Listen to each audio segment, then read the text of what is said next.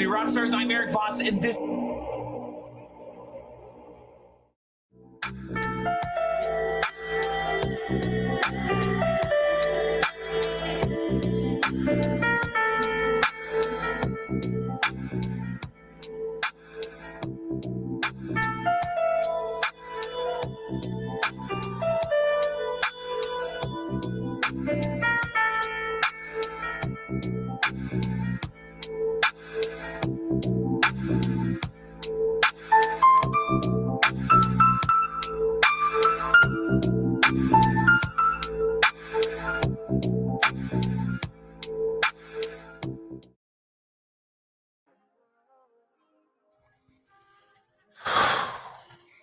Good, y'all? Welcome back to the Onyx Report, Black Masculinist News for the day. Like, share, subscribe, join, and donate. Support the channel if you will. See the various ways to do so on the screen Patreon, Cash App, PayPal, Venmo, and of course, YouTube's own Super Chat.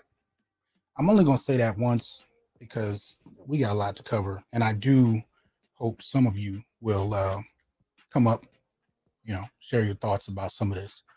Shout out to everybody in the building, uh, most particularly those who are joined and subscribed to the channel, especially those who are members. What's up, Tim? Artisan, hope you're good, man. Peace, God. I see you in there. You know, what's going on with y'all? Barry, what's up? Prince Johnny, AK, what's going on? Barry, again. um, keep it 100. What's up, man? Joe Average Brother, VGS, always good to see you, man. Hope you hope you good. I ain't talked to you today. Um, yeah. So a number of people in here. We got a lot to go over. This has obviously been on everybody's minds for a minute now, and understandably so. Because at the end of the day, this is a slap in the face on a couple levels. Now, of course, we don't know to what extent till the film com- comes out. They'll probably throw black men some kind of symbolic bone on one level or another to shut us up.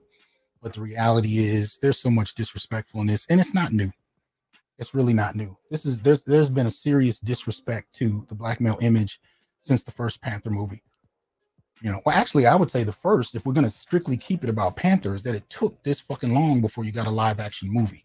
And those of us who've been comic book collectors, and I can say I've been one for over 40 years, I waited my entire life to see a Black Panther live action movie. And by the time we got one, it was underwhelming to say the least. Mainly because the political move of the film, and y'all know I've said this a thousand times, was to downplay the character, turn him into something else. I think I think what I've heard it termed in this last few years is to nerf the character, right? And they did the same with other male heroes. The Hulk is nowhere near what he's supposed to be. He's a joke. And if you've seen the recent trailers with She Hulk, you see even more so why he's a joke. I, I think they're probably doing this, you know, with the whole like pre, you know, end game or whatever, pre, so where he still has the use of his arm. I don't think it healed. So I think it's probably pre, but She Hulk is stronger than him. She's more capable than him. And she just knows how to, you know, be Hulk just right off the bat as soon as she's able to become one. It's really a tiresome trope that we've seen a lot of best exemplified by Star Wars. I mean, I think that um, became the very definition of a Mary Sue, even though I think the concept of the Mary Sue predated, excuse me, predated Star Wars. She became the face of it. And now I think it's fairly standard. So, uh, that being said, we're seeing more of it here. Right. If it's supposed to be artisan, if it's supposed to be after Endgame, I guess he's supposed to have a healing factor, but I haven't seen much indication of that before now, so I'm curious to see what they do with that or how they explain it. But this is not that wasn't the Hulk I wanted to see, and it damn sure wasn't the Black Panther I wanted to see. And it looks like it's gotten even worse. So I played the trailer just to get it out the way, uh, in case there was still somebody out there that didn't know what it was. And you can see that there are very sparse images of black males, very sparse, very few, and it's ridiculous. And it's such a disrespect. And the reason I keep saying that is because the Panther came about in a time period where comics were primarily marketed to boys. And in that market, they were primarily marketed to white boys. So black men have had a decades long, generations long, multi generational battle for representation in comics. And that said, the number one character, now, black men didn't create Panther. They didn't create him, but they spent decades making him relevant to the Black community, applying him to the Black community, addressing various needs and issues in the Black community. Black male artists and writers fought battles, wars behind the scenes to have Black male characters be more than footnotes, sidekicks, or completely absent. And when they started to actually, you know, cater this battle to other demographics, black males became relegated to background once again, but this time for a different set of reasons. For the most part, they were considered irrelevant. So we end up with this.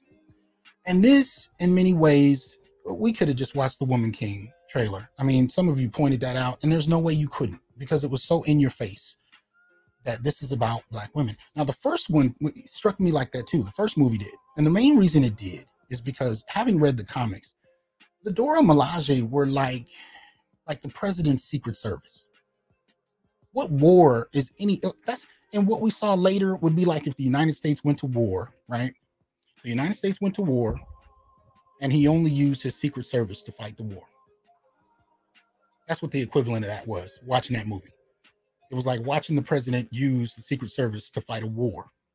It's not what they were they were quasi wives and like Secret Service. By the time you get to the first movie, they kind of get expanded. Now they, they they have representation on the council. Now they're damn near an army unto themselves. they pretty much do what they want. I mean, technically, when they were supposed to follow uh, Killmonger, they just you know decided not to. I mean, it, you know, I don't know how serious that's supposed to be in terms of what force they're supposed to represent, but by the time they get into a war, even with the other factions in Wakanda, just on sheer numbers, it shouldn't have been realistic at all that they would even be a resistance. I think it was M'Baku, was it? His force, his forces. I wasn't planning to talk about that, but anyway, yeah. So it's been ridiculous, and they've been, and they're doing this obviously to cater the the, the property to black women as well. You know, and that's I don't I'm not opposed to making characters relevant to other demographics. My opposition is that you eliminate the primary demographic that the character was designed to attract. What? You think Stan Lee was instrumental in creating Black Panther because he really wanted white boys in the East Coast and Midwest and West Coast to just, you know, follow a black male hero? No, they were interested in catering to a new market. But again, that market was tailored to black boys, many of whom grew up, became comic book insiders, and fought to have that character be even more relevant. Right. So when you get to Priest and Hudlin these cats that are doing this stuff, they're coming out of years of reading comics. And so to have this history just legitimately wiped off the map and have the character just altered, and, and I have this problem with with comic films, and I could say I have this problem in general when it comes to films. If you don't have any respect for the source material, why are you even doing it? And we obviously know it has to do with money. But at the end of the day, it's such a smack in the face to people that actually legitimately enjoy these properties. And many of these directors and screenplayers, they don't have any respect for the characters. It's a cash grab for them. I rarely hear about these cats saying, Yeah, I've been reading comics for years. I usually hear, Oh, I didn't hear about the character until you know, I was offered the position. And then I just thought I would play with him and do this with him because it looked interesting. What? Makes no sense. And it's frustrating. And Artisan knows, we've talked about this before. I can't stand that. I really can't stand it. To me, if you don't have a respect for the genre, you shouldn't be touching it. I mean, look, when I started graduate school, they introduced us because I was in cultural studies, right? So they introduced us to this whole line of um, you know, kind of these these on stage productions that were trans, you know, clothing. It was like a trans modeling slash battle thing, and we had to read about it and study it and all that. The equivalent of what I'm frustrated about is if someone hired me to do a film on trans modeling, I'm not the one you want to ask because I'm gonna change the shit to something you ain't gonna like because I don't really particularly have any respect for the genre. That's not my area. To me, you should, if you don't have any respect for the genre and you don't know about it, have no interest in it, don't touch it. Leave it for people that do. That's my respect. That's my perspective on it. That's you know, that's just personal. Right. And one of the things I'm also noticing about this, here's the thing. There is actually, I think, a backlash that's happening in Hollywood in regard to representations of masculinity, but it's real subtle it's not in your face. It's not an outright battle with, you know, the, the whole woke representation kind of crew. It's real subtle. And I'm gonna tell you when I caught wind of it a couple months ago, or however long it was when um, Maverick came out, Top Gun 2. It and, and it's one of the things you'll notice when I I'm going to mention a couple films, but it generally takes, particularly a white male who has power in Hollywood and can do what he wants to do, right? So if you take Tom Cruise, and you take Maverick, he flipped everybody off in the industry and made Maverick. And that shit was dope. It was dope. But one of the things about it is it really challenged this toxic masculinity narrative without even telling you it was challenging it. What Tom Cruise's character Maverick represented, and really, if you watch the first movie, it represented it then too, because there were already critiques about masculinity that were starting up in the 80s. It just reached an, a fever pitch by the time we get to 2022. But what you saw in that film was a masculine figure who was an elder in the context of what he was doing. Shout out to Moonwalker for the support, right? In the context of what they were doing, you know, in terms of being a flight pilot and so on and so forth.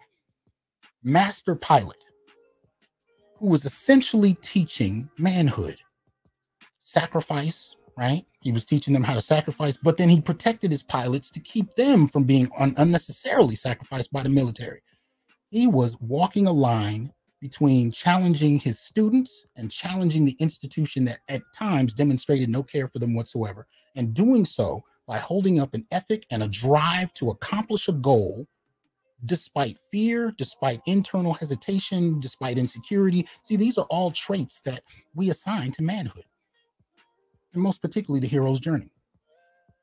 So here you have a master fighter pilot who's on who's trying to juggle all of these ultimate missions to get across a point that moving past your comfort zone and accomplishing something for the betterment of all at the risk of your own personal life. That's manhood. He was actually showing us different types of manhood beyond this toxicity narrative without telling you that's what he was doing. I watched another film, another white film, really quite accidentally. This was when I had COVID a little while ago I was sitting in my room and I was bored, and I watched Father Stu with Mark Wahlberg. Now, this is supposed to be based off a true story, and I think they kind of marketed it like you had a gangster who becomes a Catholic priest. But if you actually watch the film, it's really interesting because the Catholic priesthood don't want him to be a priest. He's a former boxer. He's kind of all over the place. He's undefined. He's kind of hard to position, and he doesn't really kind of know how to characterize himself. But he ends up actually being just the kind of priest the church needed, and they didn't know they needed it. And when you finally see him doing his thing, you kind of understand uh, in that way, in the, in the context of the story, why he's there. But again, going back to this theme of manhood, he's representing a different type of masculinity, unapologetic masculine behavior. But with both characters, capable of being wise. Now, this is something you don't get to see as often with black male characters, but it is an aspect of manhood. This is why I used to always talk about the sacred masculine. Doesn't need to be esoteric or metaphysical. It just means that there are characteristics that are also a part of manhood that we often ignore. And the ability to be wise, the ability to be a teacher, an elder, a coach. This is, you know, the stern one at that that kicks your ass. Many of us grew up with that if you were a man that played sports. You were introduced to the taskmaster, the father figure who put his foot in your ass until you achieved something that you didn't think you could achieve. This aspect of manhood that's often dismissed is something we don't see in a lot of films today. So now I'm starting to see these films pop up, and they're real subtle. I, I just saw a horror film. I might get the the name wrong. I think it was called Black Phone, and you saw a hero's journey, young, almost preteen boy who has to uh, overcome incredible odds after being kidnapped by a serial killer. Nothing is easy. Nothing is handed to him. No guarantees about what's going to happen to him. But he has to undergo a major transformation from boy to man to achieve it. Nothing is easy. Ain't no Mary Sue's jumping off in there. Anything he gets, he has to earn, which most men kind of accept as an aspect of what it means to be men. Even if you don't fully know what it is, you know enough to know ain't nobody handing you shit. Those kind of narratives we don't get, and we don't get to see black men play them, which is another reason that Black Panther becomes a slap in the face. Because at the death of Chadwick Boseman, there's a way that you could show respect to Chadwick as an actor who played the role well. I didn't like a lot of the story elements of the first film, but I never had anything but respect for Chadwick's performance and Chadwick himself. I liked him. And I'm not just saying that because he passed. I actually liked him. At least in terms of as much as how you, you know, as much as you could like a celebrity you've never met before. You know. And then by the time we found out what he was really going through, my respect for him went up that much more.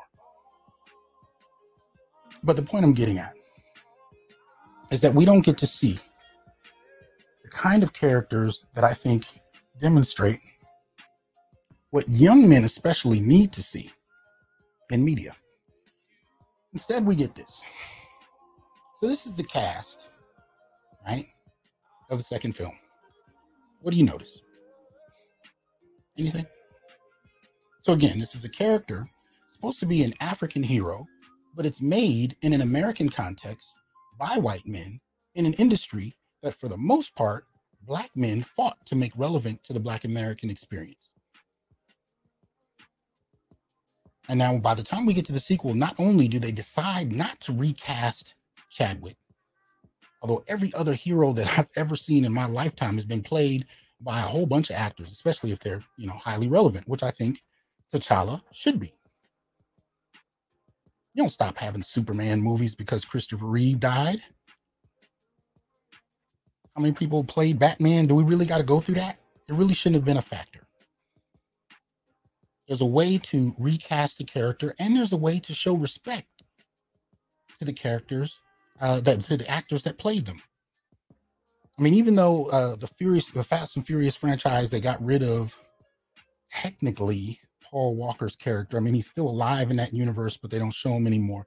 The way they showed respect to Paul Walker in the midst of the film could have been done with Chadwick, but without getting rid of the character. It didn't need to happen that way. I can't tell you what, there have been several Superman movies where they demonstrated a particular respect for Christopher Reeve, even though he wasn't in the films. The one with Brandon Routh, and even even the ones came after with the music they used, the I mean, every eh, really most Superman have been replaying Christopher Reeve since the 70s. But even when they finally tried to break from that legacy, we can debate about how much they've successfully done so. There's still been an air of respect for Reeve, even without having to say it outright. And the same could have been done for Boseman.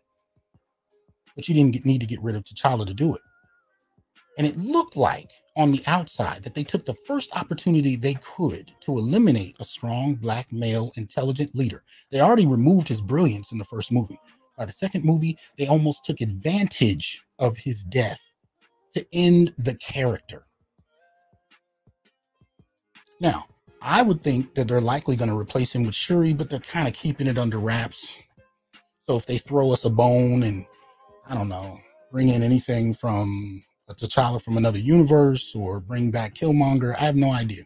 They're capable of anything. I mean, I think they're going to give it to Shuri, but because they didn't show her outright yet, they might try to throw us a sideways bone. But I'll tell you this the disrespect to the character already by the second trailer is ridiculous. The disrespect to the story and to black men. Mm. So I'm missing some of these comments. Let me quickly apologize. Sometimes it's hard to look at them and keep my train of thought. Shout out to Jeremy for the support. Appreciate that. Aaron Peters, shout out.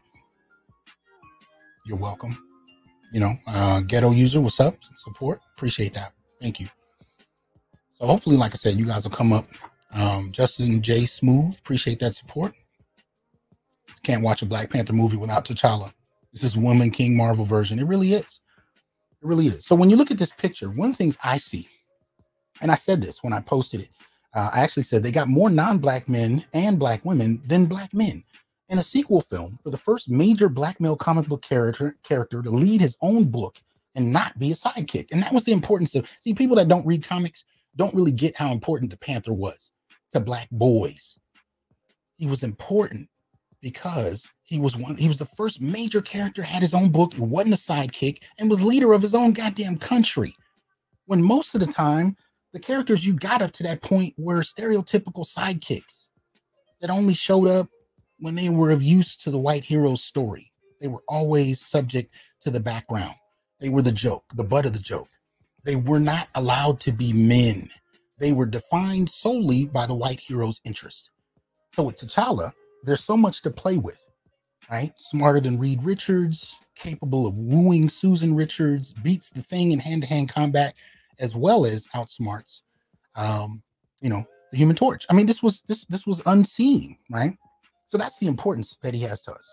So too many uh, wars have been fought in comics behind the scenes for young black boys to have a major inspirational character to look up to in a genre that was targeted to boys one who was not just physically uh, capable, but intellectually brilliant, something they stripped him of by the first movie, and a leader of his own country coming from a line. And that's the other importance to this. It wasn't just that the Panther was an individual, he wasn't like Bruce Wayne, where he just happened to be brilliant. He actually came from a line of other black men who sired him and raised him. And he had an ongoing memory of them. Now, the film did kind of take advantage of that, right? Where he can go to the ancestral realm and and I like that particular aspect of the Panther.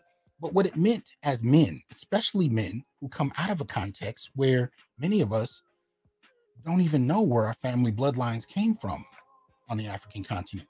You know how much that meant for us to be able to at least symbolically have this sense that there was a line of men that you came from. And we're talking about families that barely honor our grandfathers or great grandfathers. PhD Music says, How do we communicate to Black women this is harmful? Oh man, you got to be unapologetic and just speak it because so many are delusional about what their, their thought process is. They ain't trying to hear you. So I'm a little, that's why I'm talking to y'all. I'm not up here trying to convince anybody about anything. I'm talking to Black men because I want us to have the language to, to articulate our concerns, especially for ourselves, right? Indigo says, supporting one of our foremost scholars. Much appreciation, man. Okay. So, Shout out to Queen Queen Kalila. How you doing? But that was the thing. Panther was tied to a lineage of men, of kings, right?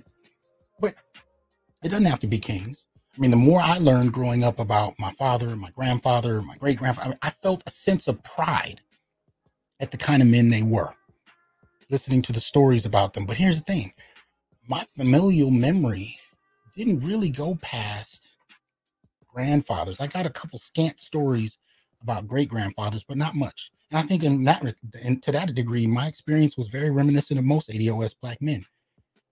We're lucky to get a couple of, you know, father, grandfather levels, and that's kind of it. So there's a there's a limit for most black families, most particularly when it comes to the remembrance of the men, the remembrance of the father figures. We can talk about Big Mama, and the women in your family can talk about their lineage, but when you start asking questions about fathers and grandfathers and great grandfathers and great great grandfathers, it's a small number of families that can give you an in depth breakdown. So, symbolically, in terms of pop culture, something like the panther coming out of lineage of panthers that go back to the beginning of time, and one character being able to go to the ancestral realm and interact with them is mind blowing. And that's you know eliminated with the death of T'Challa. Now they're saying that that uh, you know they're going to go there. The ancestral realm is still there, but not in terms of the line we're familiar with.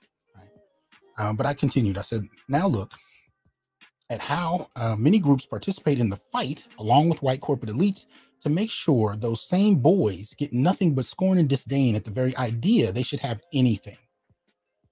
Right? See, now if you say boys need inspiration too, the first thing people will say is, what, what about the girls? But here's the thing when I was coming up in the 80s, they had he-Man, Transformers, G.I. Joe. And I'm saying this because I had a little sister. You know, so whenever we went to Toy, Toys R Us, there were there were two aisles at least, right? There was the boys aisle, there was the girls aisle, and I love the boys aisle. To this day, if I go to a Target or any kind of store like that, I always go to the boys toys aisle because I love that as a kid, and I just like to look at what they have, and they still have it. The girls aisle was like spray painted in pink, you know, and they had Barbie and strawberry shortcake and all this kind of stuff. They had all these different you know, properties for girls and for boys. And of course, you always had people that played with different things. That there's nothing wrong with that. But now we have a, a, practice of telling the boys that any property that once targeted them now has to be turned over to everybody. But girls' properties, you don't hear much about, but those shows are still on. I was flipping through the TV channels the other day. Strawberry Shortcake is still up there. There's been no major push to make it inclusive of boys and men. So, in other words, women and girls still have their properties, but they're interested in getting boys' properties too. Right? That's what we're seeing happening. Boys have to give up ground for girls to not be sexist. Girls don't have to do a goddamn thing. And so when you talk about comics, you're talking about a genre that has historically been male targeting. Has been instrumental in helping many a boy, especially black boys, gain an appreciation for reading and learn how to express their imagination my, that was one of the reasons that my grades were so good and, and, and going to a public schools of K through 12. I wasn't I wasn't just, you know, some naturally brilliant kid. I was a kid that read so many comic books that my, my vocabulary allowed me to participate in spaces that they couldn't wait to get rid of me. You know, and I saw so many brothers put into special ed and they wanted me to be there as well. But I would argue that one of the main reasons they couldn't is because I was talented at two things at artwork and reading. But my talent at reading came from reading comic books. So, you know, more difficult concepts and terms came easy to me because of reading comics. In other words, this has actually been a space that's been instrumental for helping boys to develop. And so now the comic book industry itself, when you talk about Marvel and DC, has been appropriated by the same interests that we see the films being appropriated by while ignoring the impact that it had and is now having in a negative sense for boys and in particular black boys who needed this. I did a video where they did a scholarship after the first Black Panther movie came out. Now, the Black Panther has not only been used to inspire boys on, on a heroic level, but it was also used to inspire boys in terms of STEM, right? Science, technology, engineering, and math. What was the Black Panther a genius at? He was a genius at building things, designing things. He developed his own branch of physics in the comic books. This was designed to inspire Black boys to engage in STEM. And this scholarship that came out, they gave it to girls. There was no institutional remembrance of the role that comics had in boys' lives or the relationship between boys and particular black boys and comic books. That institutional memory has been wiped away. And that's what, so far, this trailer represents to me. Now, again, I can't speak further until the movie comes out. But I will say, up to this point, looking at the trailer, the institutional memory of what comics did for black boys and what black boys could use it for has been wiped away. And I find it interesting because you had generations of men and boys struggling for representation. And it was basically handed to a demographic that, yeah, a few girls asked about, but I never saw girls kicking down doors and burning down comic book stores because the major characters weren't female. And now you see a whole different push, not only for there to be representation, which in and of itself isn't a problem, but to make the principal properties women. And you see it happening in the MCU. From the Hulk to Thor to Wolverine to Captain America to Spider Man, there are female versions of all of them, gay versions of some. I'm sure we'll see trans versions soon enough. Again, I wouldn't have as much of a problem with it if there wasn't an, an, an, an erasing of the impact and an understanding of how much these properties mean to boys, especially when executed well. And so now the big push is to eliminate the interest of the boys altogether. And they do this most particularly when it comes to the black community, more brazen than others. Because even though we can talk about the masculinization of women in sci-fi and in comic books, you don't see it anywhere as strongly as you do with black women. This is why the Woman King was so interesting because you had two white women writing a story, right, about these African women, bald head, carrying knives and swords, fighting, dominating men, and, and, and celebrating it. The hyper masculinization of women, we see it mostly, you know, kind of, uh, uh, you know, thrown onto black women. And many black women eat it up. That's been happening for the longest. They're celebrating their masculinization. Meanwhile, white feminists, they still go home to their husbands, but that's another conversation. And we're seeing it here too which is why I think more of us are seeing the linkage between Woman King and Black Panther. Of course, the Dora Milaje are, are based on the Dahomey and Amazons, but more than that, the removal of the masculine principle, right? Not just T'Challa, the removal of the masculine presence as if it means nothing. Very reminiscent of a battle that black men have been well aware of for decades. White men are, are coming to grips with but black men have been fighting this battle for the longest the removal of the masculine principle from social memory, from families, from, I mean, look at it, from films and television shows and talk shows going back to at least the 1980s. Black men have been fighting with their institutional removal and the use of black women as, you know, kind of um, chess pieces in this project, given baubles, given little, you know, trinkets to get rid of their own men. It's sad and it's frustrating. Anyway, I said, you know, last thing I said about this is that black men always seem to be honored after our deaths. And then somehow in our absence, it's a kind of celebration that seem, seems to take place. And we're often not replaced with another black man. It's almost like just we're removed altogether. And even if you look at this picture, you see the absence of black men, except for one.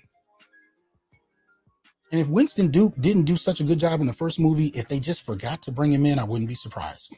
Because Makabe, uh, played by the brother who's in uh, the recent film Nope that just came out this past week, he's supposedly not in this film, right? So he's, I guess he's in a Wakandan jail and they just forgot about the character. They could have done the same thing uh, with M'Baku. But I think Winston was so popular that they didn't want to do that. But my understanding is that they're also going to have uh, a kind of scene where we get uh, Killmonger come back in. Um, hold on. Shout out to um, uh, where to go? Indigo for the support. I think another one popped up. PhD music again. Appreciate that.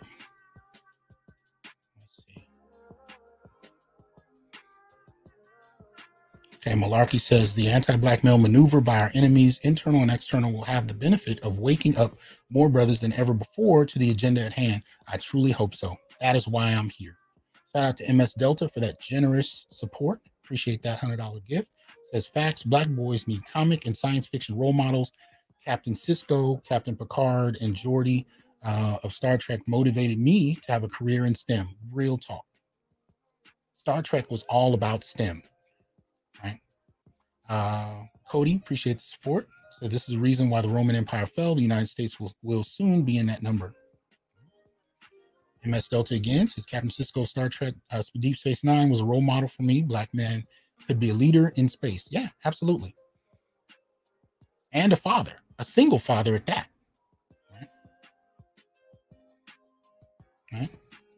What's up, Quadwo? What's going on, man? What's up, Charles?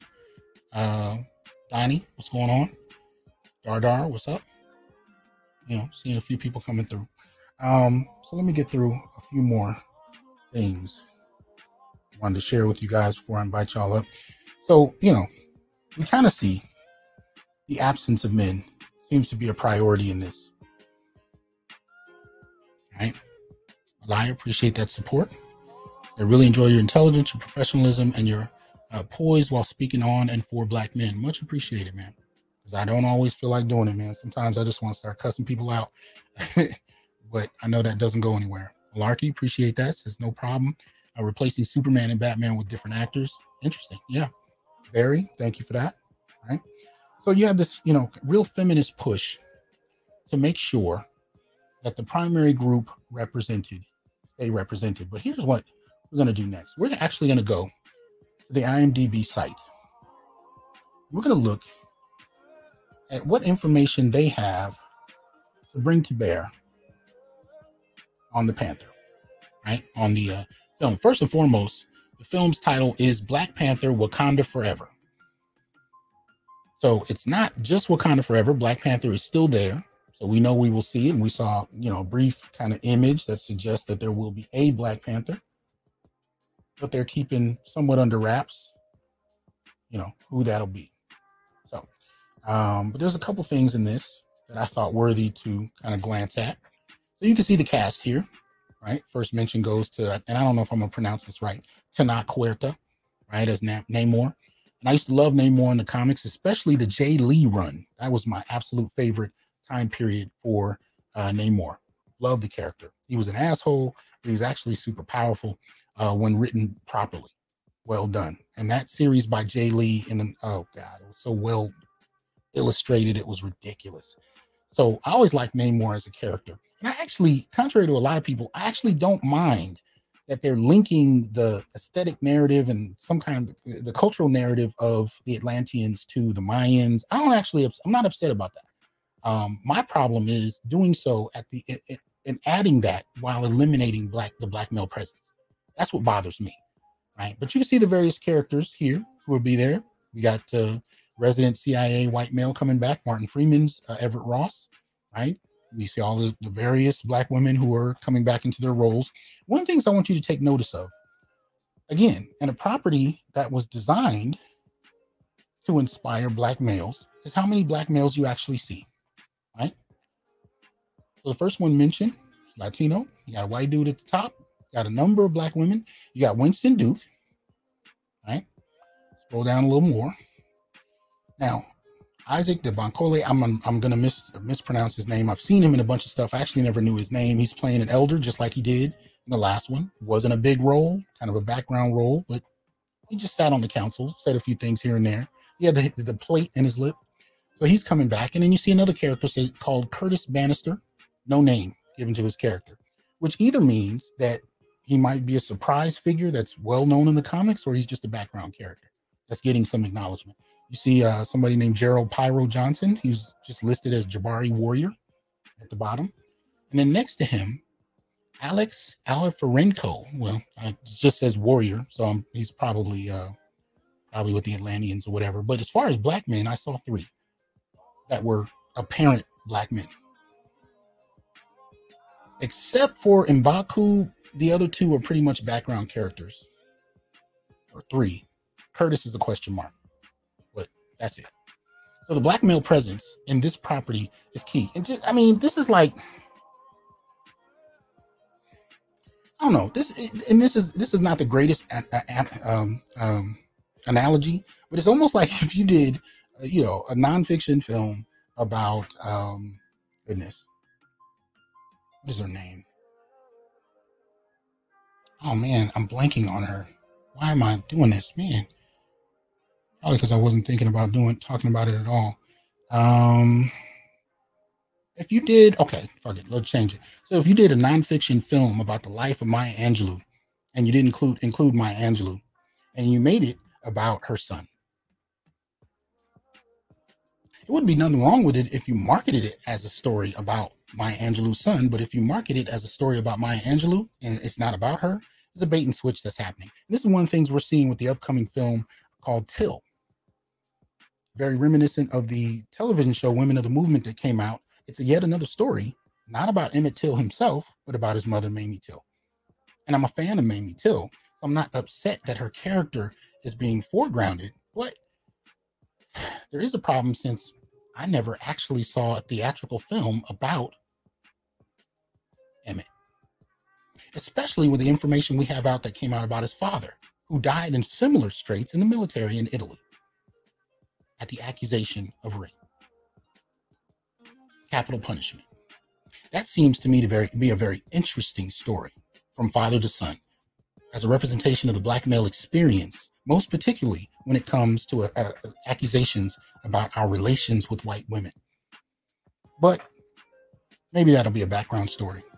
Because again, we're going to foreground women and downplay men.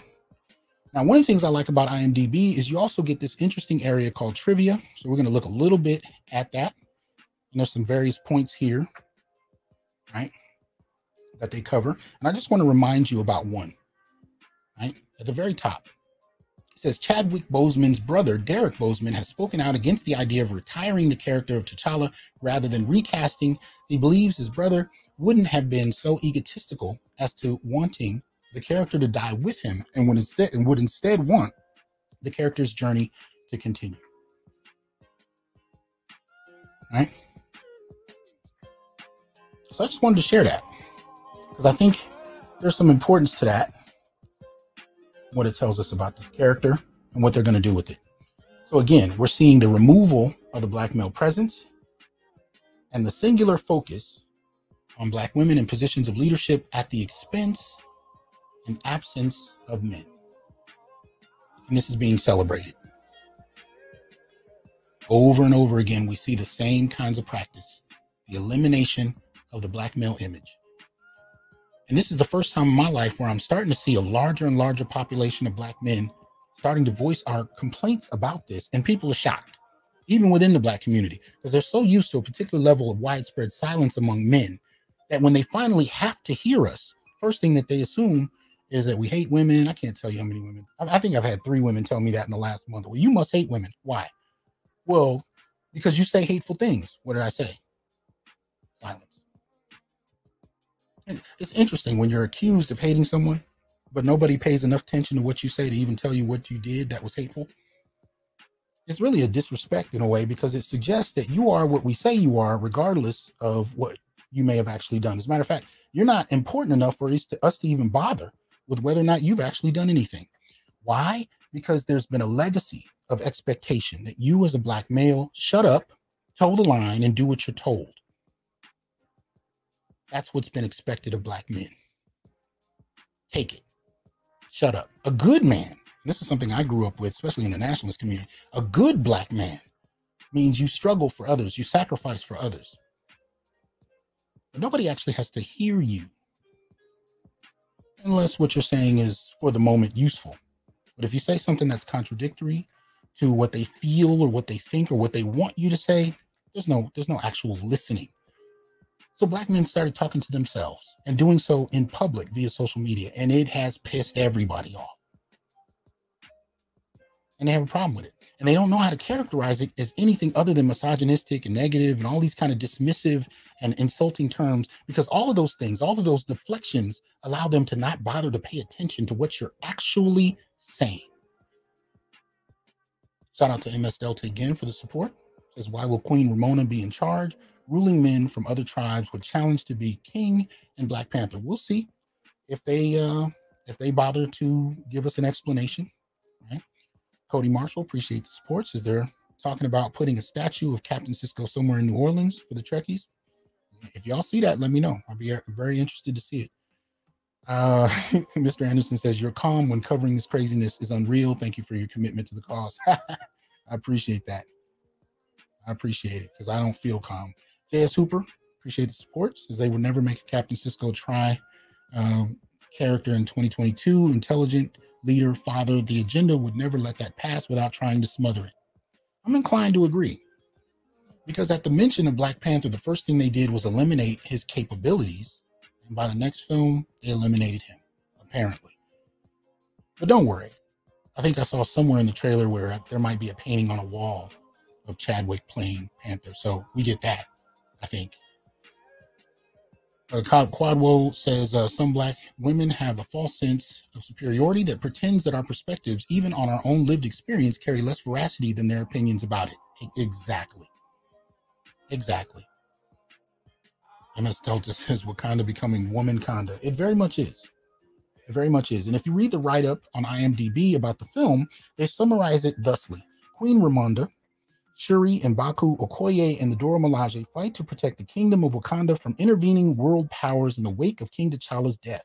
As the Wakandans strive to embrace their next chapter, the heroes must band together with the help of war dog Nakia and Everett Ross and forge a new path for their nation. So understand this in this particular film, they're already telling us that you're going to, we got King T'Challa's loss.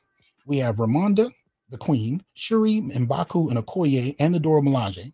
So, except for M'Baku, it's all women, right? And uh, Nakia, who played T'Challa much like a sucker throughout most of the film. I've never seen a film about a king who rises to power and can't even get the girl. A girl he's apparently been on and off with for years. And she keeps trying to leave him and and just it, it, he's chasing around. It was it was fucking embarrassing because at the end of the day, that's always been the reward for powerful men who've done things and sacrifice for the nation to protect others. The very least they get is supposed to have been love and affection. T'Challa couldn't even get that.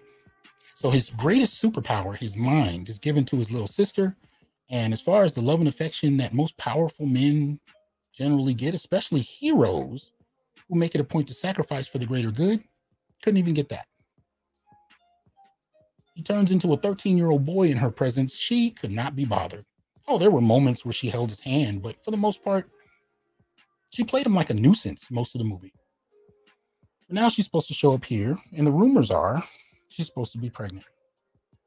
Now, if you don't want to hear some of the rumors I'm about to read right now, I do understand if you need to check out, but there are a couple rumors that I wanted to share. This comes from Hero Daily, and I posted this on my Facebook page a while back. So if you're not interested in hearing this, spoiler potential spoiler alert. But the only reason I don't consider I don't consider it a spoiler alert is there's no verification if this is true. So it's more of a rumor alert. And if you're not interested in the rumor, this is the time to check out for about five minutes. So it reads Lake Bell plays a scientist who is an original character. She and her team searching for vibranium in the ocean thanks to a device made by Riri Williams, who they do show in the trailer, right? She's the replacement for Iron Man. So I told y'all earlier, all the primary male heroes are replaced by females, right? Um, Namor is awakened and kills her team. Namor asks Wakanda for help, but they turn him down. T'Challa passes away from sickness. Namor wants to kill Riri, but Wakanda protects her. Riri's first suit is made out of cars, but when she gets to Wakanda, she gets one made out of vibranium. War between Wakanda and Atlantis. Shuri's mom passes away, and parts of Wakanda are flooded. Shuri makes an artificial flower to gain back Black Panther powers and gain the ancestral plane. She expects T'Challa to, uh, uh, but meets Killmonger in the ancestral plane instead. He helps her become the new Black Panther. Shuri makes her own Black Panther suit. Big war between the two nations. Shuri defeats Namor but doesn't kill him. And M'Baku is the new king of Wakanda, while Shuri is the next Black Panther. Nakia tells Shuri that she has a son from T'Challa. The end. Post credit scene, the introduction of Doctor Doom, who was thought to be the one who sent Lake Bell's team in the first place.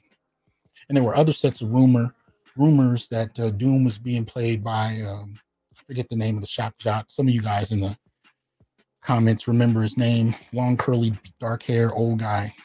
You know, somebody's going to put it up in the comments soon. I can't recall his name right at this moment. Um, I think he spilled the beans that he might be that he's supposed to be the next um, Doctor Doom or the Doctor Doom, whatever. Um, but like I said, his name escapes me right now. But you guys, somebody will put it in there. Yeah, Howard Stern, John Smith. I am Doom. Appreciate that. Right, E Remedy. Yeah, so that's supposed to be what we get.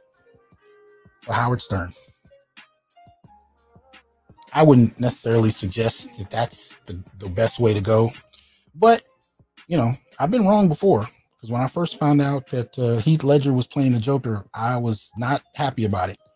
Um, and I was never into Guardians of the Galaxy as far as the comic books were concerned. So I wasn't thrilled when I heard about a movie coming out. But I will say, in those two instances, I was wrong.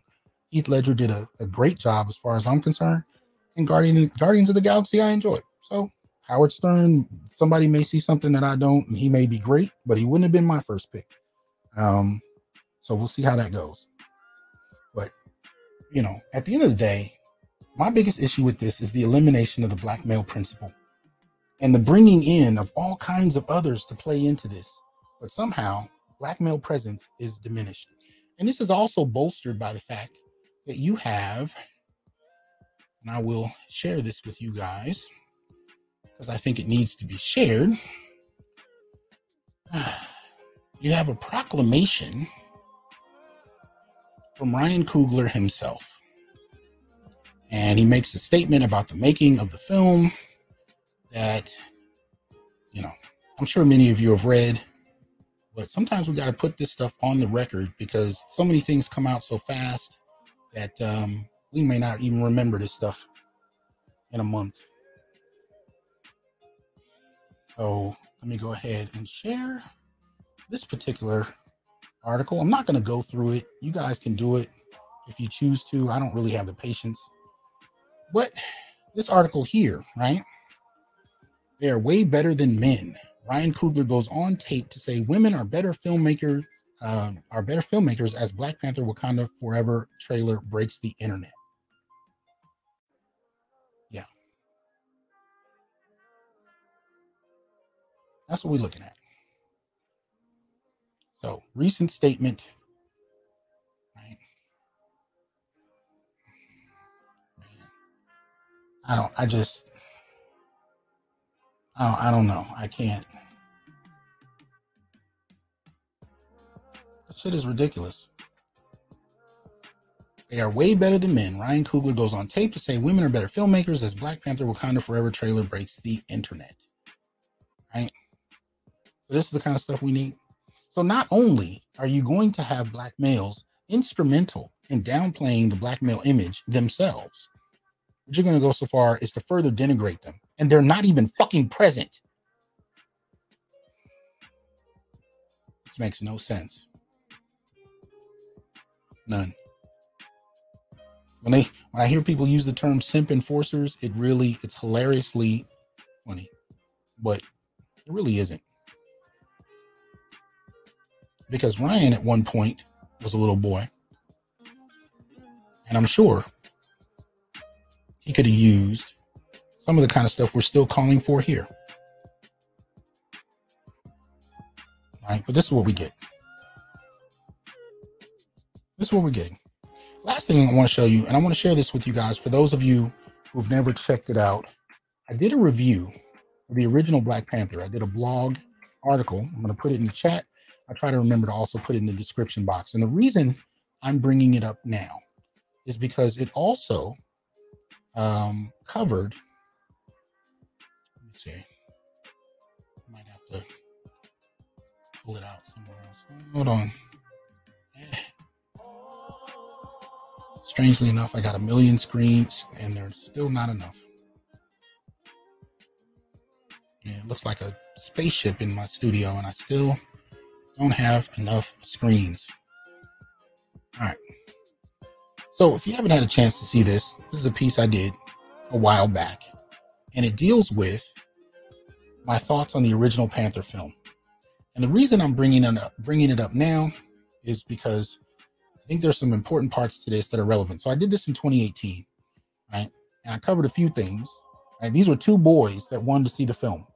Remember when I was telling you that this, uh, you know, these comics are extremely important, especially to boys?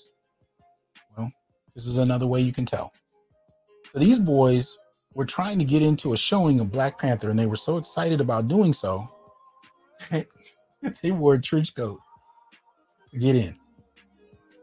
I just love it. But again, it speaks to how much boys needed this, right?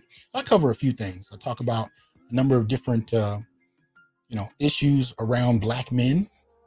But one of the reasons I'm bringing it up now, because for those who are interested, I cover a very brief overview of the history of comics and the history of black men fighting for space in comics.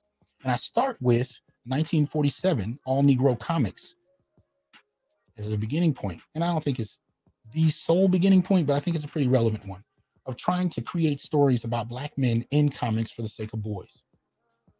But yet and still, all of this legacy is dismissed in the excitement of replacing boys altogether, or at least ignoring them to a great extent. So, for those of you who are interested, I'm going to drop the link. And if you want to come up and share your thoughts about uh, the Panther, about the Wakanda Forever, um, please do so.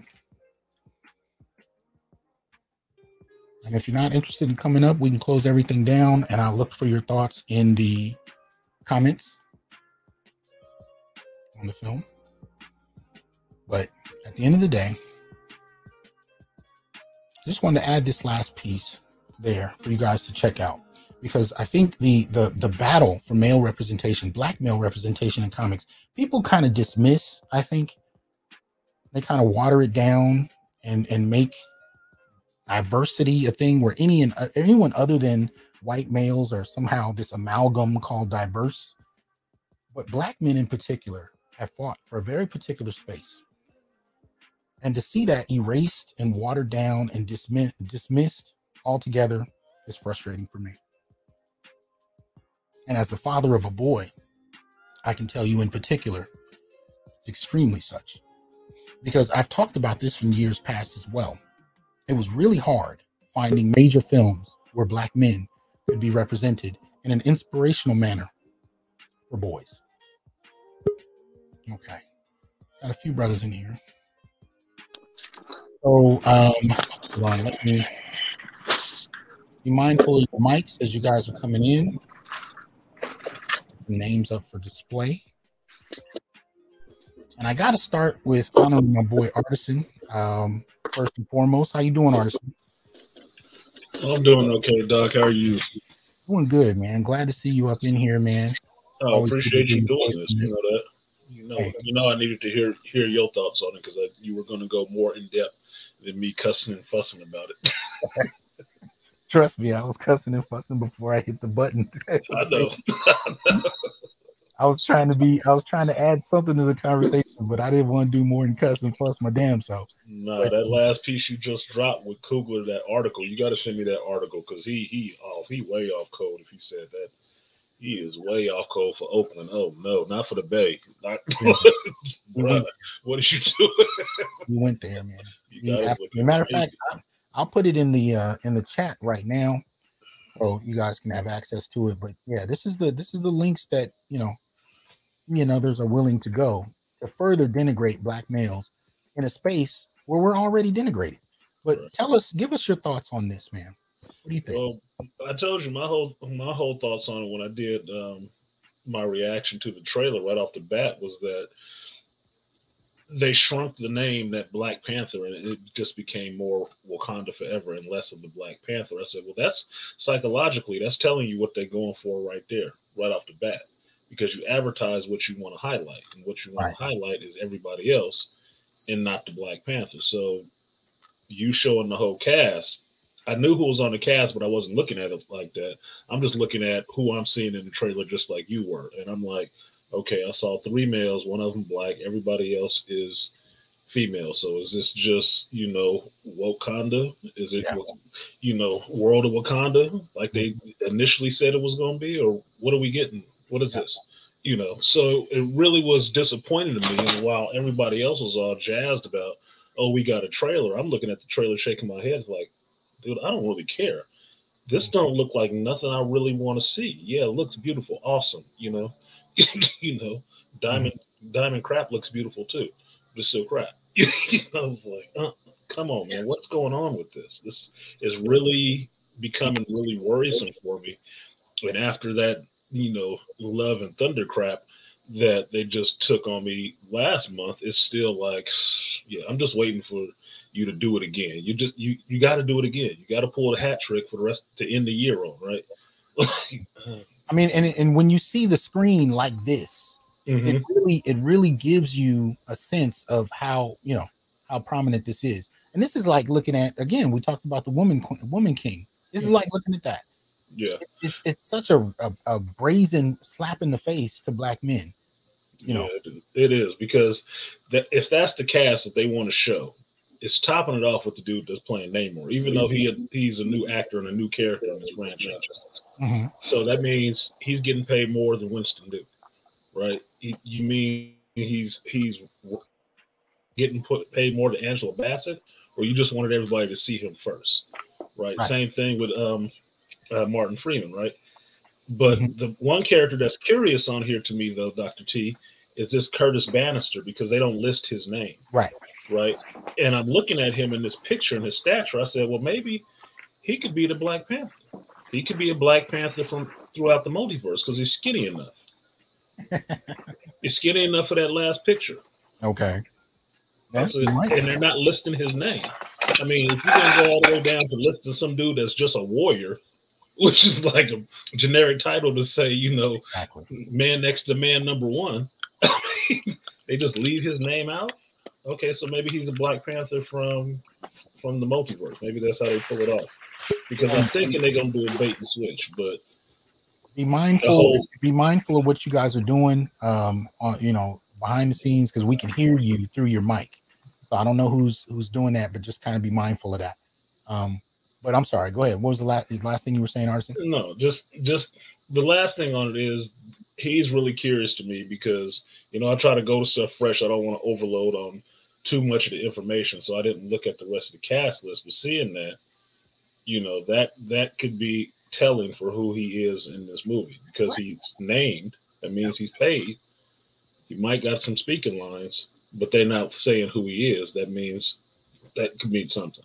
Yeah, it might be a bone because eh, look, I think mm-hmm. I think they knew that black men were going to be up in arms at this, Oh hell yeah! you know, and so I think this might be a little bone that they throw throw at us to, to, to shut us up, um, because they're getting blowback already. So Yeah. it is. Yeah, they they are. They are. I mean, as much as everybody was was crying and snotting at the trailer and stuff like that, I'm sorry. I'm I'm coming to a Black Panther movie to see a Black Panther. And if you telling me Black Panther is dead and maybe we'll give you another one, but you're not gonna recast T'Challa, I don't know what you're doing. What you think I'm coming here to watch? Yeah. Dora Milaje? No. I know who they're supposed to be, and I know who they are in the MCU. But I'm not watching the movie with the door Dora Milaje. I'm coming to see Black Panther. Right. So this would be like going to a Superman film, and Superman isn't in it, but we're the whole film is about the women from Krypton. Yeah, it's just it's just Lois. It's the Lois movie. Well, Lois and some chicks from Krypton, and yeah, and and if you don't support it, it's because you hate women. So I'm supposed to I'm supposed to believe that a guy like Namor, in the comics, who frequently slapboxes with the Hulk, hmm Blue Marvel. Don't forget. huh? I said Blue Marvel. That's his homeboy. and Blue and Blue Marvel's his homeboy, and they they spar with each other, so they're comparable in po- in physical power. And somehow, some computer geek who it should not be her ability to be that damn smart is going to stand up to a powerhouse like that. You, Yeah. you, you- know what? I've written better stuff sitting on a toilet, man.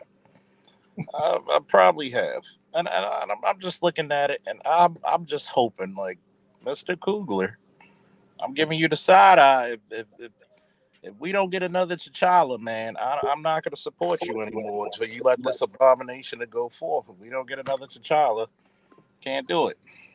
Okay. Well, here's how this is going to go because apparently we got a lot of people in the queue, um, and some of the, some of the brothers up here I've known for years, so they're welcome to stay up. But if you know some of the others, I want you to get your comments, and I might have to you know push you out and bring somebody else in. But uh, let's go ahead and start with Oliver the Third. Give us your thoughts about this. Yeah, thank you for uh, speaking on this. I'm, when I saw the trailer, I was I was hoping that somebody would speak on this because I, I, I was I was frustrated, and the cats who I was talking to were all excited about about it, and you know, I was just like, man, we're we're losing our way. And honestly, this is this is not something that's unique to black men. This attack on masculinity has been going on. Like you saw the white guys being upset, rightfully so, about what happened with Thor. Uh, the He-Man reboot that they did on Netflix barely had He-Man in it. Yeah, I mean, it, it had Tila going on. So, like, they they've been pulling these tactics, and and after that Thor movie, I told my brother as we were leaving, I was like, I'm scared about this Black Panther movie because Mhm. I I just smell the tactics coming, you know. And and when I saw that trailer, you know, everybody was trying to hype it up and talk about beautiful how beautiful it was. What I saw was M'Baku looking confused, Exactly. right? He's staring at something, just looking confused. I saw the women crying, and then I saw these white guys with machine guns pointing them at groveling black men in the boat, you know. And then I saw uh the black girl magic with Riri Williams. She's doing the Iron Man thing, right? And she's giving the dap, you know, to Shuri. And then they're all all the women are getting amped, and obviously Angela Bassett is in her moment. And I was just like, sitting okay, on her throne. I saw a number of Yep. Dora Milaje sitting on what looked to be like a council of thrones. I mean, so Yep. you're seeing women in positions of power and an absence of black men altogether. complete absence. And there was a council in the previous Black Panther movie that had all these different other uh, tribes represented, and plenty of men, but none of them I saw in this one. I didn't see the dude who had the the thing in his mouth. You know what I mean? Like uh, the the plate in his mouth, who was on the council in the last episode. So all all the the mythos and mythology that they had built up with this huge, exciting world uh, and these different councils. None of that was there this time. It was just Angela Bassett on the Iron Throne, you know, and surrounded by the door. And one of one of the cats in the comments made uh, in the, your chat made a comment about uh, uh, let's see what kind of lesbian stuff happens in this one. And I know. I know in the comics, in the door, in the comics, they they pulled that with the door or whatever. So I was like, yeah, yeah. I, was, I didn't even think about it, but yeah. No, and the Dora was supposed to be wives of the king, Mm. right? But you can't, you know, you can't have that narrative in Western, you know, uh, uh, Western projects like this where a king can have sexual access to however many wo- women he wants. That has to be overturned. So, you know, uh, surely, you know, by the time you get to the comics and you start to see this kind of lesbianism amongst the Dora, it's not surprising at all, right? You know, and it's in a weird kind of way. It even takes me to to Harley Quinn, where you have this Yeah. character that people really dug in the 90s because she was so dysfunctional and had this really problematic relationship with the Joker. But you know, by the time we get to this era, we got to somehow make her a hero. She has to fight Yep. for herself and all of that because Hmm. the story of having a woman be vulnerable like that to someone like the Joker, we just can't have that anymore. But that's actually what made Harley interesting back in the day. So Yeah, it's but she- kind of she's thing where women bisexual, too. shown as vulnerable. Yeah, she's she's very much gay in in the new cartoon, uh, the Harley Quinn cartoon. Yeah. She's getting it on with Poison Ivy. So they, you know, we've been seeing this. But I'll I'll say one thing because I know you got a lot of cats here, and I want to listen to them all. Um, but in uh the What If series with the one with Killmonger, right? They went out of their way to not just make him into a villain, totally disregarding everything that he was, you know, fighting for in in Right. the movie, but also at the end kind of implying that he was going to be taken over uh, by the Dora and um, who was was it Black Widow who was there one one of the uh, Avenger chicks joined I think it was like Pepper Potts or You something talking like that. Pepper Potts and um Shuri. Yeah, right. And they were going to go overthrow him, and I'm just thinking. "Eh, eh, There's no black men in Wakanda. yes, I- Right. you know what I mean. Right. Like, so Right. eh, the shenanigans are on another level right now. Well, They're on what you- what you notice though, and I've said this before, um, when you look at M'Baku's region, they seem to be male led, Mhm. right? But they're also presented in the Wakanda by, by Wakanda as being kind of backward, right? Yep. But when you look at Wakanda, you know, you do have a male king, but there's this staunch kind of women's presence there, and it- it's only been blown out of proportion by the second film. We can see that just in the trailer. But the, I think the problem with M'Baku and his land, you don't even see the women there, Mhm. right? And I think a lot of people took issue with that. But I appreciate you for coming up, Oliver. Thank you. Yeah, I'll see you again. go- Good. All right, man. Let me go ahead and let uh, Quincy get a word in. Quincy, what are your thoughts about this? Hey, what's up, Doctor um, Doctor Tiafon, man? How you doing, man? Thanks for having me. How about yourself? Uh, pretty good, pretty good. Hey, I just got want to make a just a couple quick a couple quick thoughts. Um, first off, I think Ron, as far as T'Challa goes, Ron Coogler was the worst choice anybody could have made at this point. I think that's pretty clear. Anybody in denial at this point? I mean, the writing's on the wall. We saw it in the first movie. I mean, he he was T'Challa was the man in Civil War, and after that, it's been all downhill ever since. Um, that, that's just you know that's my first thought. My second thought is um, I'm just confused by seeing brothers, you know, a lot of blurs, like co-signing this. Um, and even even back when they first announced the um, decision to not recast and kill him off, I was genuinely confused, like seeing so many black men being okay with it right after they were celebrating Mhm. the the significance of having him and finally getting him in the MCU. You know, so that that that still to this day kind of don't sit well with me. Just kind of confuse confuse me. I'm not even sure if anybody has any insight and Well, maybe they- why. No, I've, I've heard that, and I guess we lost Artisan. Damn it! Um, I hope he comes back in. But no, I heard the same thing, and the and the retort is always, "Well, she was, you know, Shuri was was Black Panther in the comics." And it's like, Mhm. Yeah, but first, T'Challa was still alive, and he became King of the Dead, so he reached a whole nother level of authority. You But gotta, you gotta understand this, Doctor. Not only did he have authority over the dead, he had authority over every previous Black Panther before him. right, You gotta, you gotta look at how they nerfed him so incredibly. yeah, And and let's let's like I said in the chat, let's tell the truth. Shuri didn't do that much shit when she was Black Panther. She was No. briefly Black Panther. right, You, right. It was it was just it's like if you make a smidge on a paper. That's it. No real impression. Well, and if you watched her, especially if you saw the uh, BET animated uh, Panther film, which they basically made out of panels of the, the comic that they came out with under Reg, Reggie Hudlin, um, she was an annoying little sister. Yeah. And if you had a little sister, it was entertaining as hell because she was the, you know, quintessential little sister to T'Challa. But she wasn't out fighting him. She wasn't more intelligent. She was No. just his little sister No. but to give her his brilliance to her to me was was you don't need to change the character because again we've never had a chance to enjoy the character in live action before so he gets he almost gets neutered before black men even get a chance to revel in the fact that we finally get to see him hit the screen i mean I don't know. Yeah. that's that's for me but any closing closing thoughts quincy before i let you go Yeah, one one one last thing. Um, this this whole situation for me reeks of just follow me in my comparison. It, it reeks of the like the Barack and Kamala comparison. I remember seeing somebody saying, "Why aren't black men um, excited about Kamala?" Right, and my first thought was black men aren't reflected in Kamala's life. Right now, back with Barack, you had you had his mother-in-law, you had his wife, you had his kids. So of course everybody kind of you know reveled in in it, right? Because we all had a place in it. But with Kamala, that wasn't the case. And in comparison with the first Black Panther, everybody had a place. The OGs with Angela Bassett, Forest Whitaker, the newcomers with the youngins, the the current uh, heavy hitters with Michael B. and whoever, and even across the diaspora.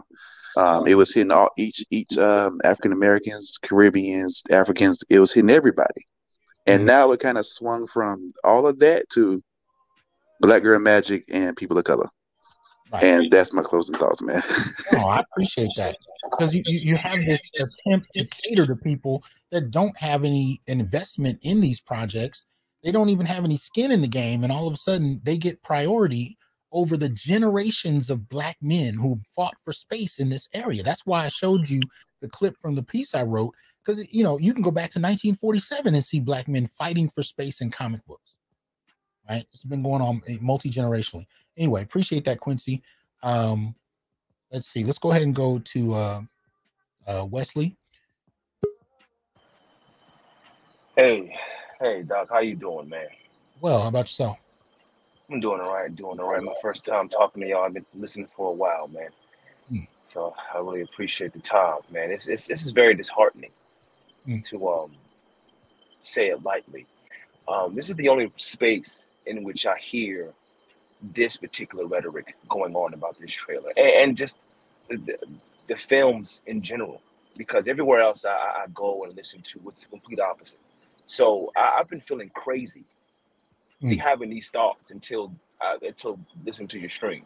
Okay. Because even when even when they dropped the title for the sequel originally, and it was Wakanda Forever, Right. there was a there was a uh, this this tingle, this little weird, Yeah. you know, uh, like pause. Like, why is it called this? Right. Why is it so separated from the character? You know, why why do they vague it up like this just to call it Wakanda Forever Mm-hmm. when that's no real representation of the of, of, the character specifically? It's just this vague overtone of okay, well, this is this is this. Mm-hmm. You know, I, I, I mean, I'm I'm a conspiracy theorist, but I mean, I, I didn't I, I didn't really. I, I was hoping that it wasn't going to be something like this, but it you know it's it's just very weird that it ended up being something like this. Mm-hmm. And I, I man, Oh, did we lose you? Okay. I think we. I think we might have lost uh, Wesley's uh, mic. oh he- oh sorry sorry. Go ahead. Go ahead and give us your your closing thoughts about that, and I'll let uh, the brothers up here respond. Oh, looks like we lost him again. All right, brother. Well, appreciate that. Anybody want to respond to anything he raised? Uh, Marcus, anybody else? What's going on? I don't know if y'all can hear me good. Can you hear me good? Yeah, we can hear you. Yeah, because I got a funny signal over here. Man, listen, I've been going back and forth with people about this all day. Um, it's always people that don't read these comics. Mm, It's always people that don't read these comics and and you know they watch these movies and their first impression of these characters are the movie version. mm. Right, right, right, right. right? You just got a comic book correct Batman movie. Hmm. Right? You just got that. They made a big fuss about it. You understand? They about to, I guess, do a whole trilogy of that. And that's not a problem. And I'm sure this point that I'm gonna make has been made earlier or made before. But how many Batmans did we get? Right, How many Spider-Mans did we get? right. How many Supermans did we get? Mm-hmm. This is probably the first time ever, ever, that we lost an actor that played a comic book character and they decided to kill the character that he's playing. Hold on, let me, Wesley. I'm gonna take you down. Um, so I appreciate you coming through.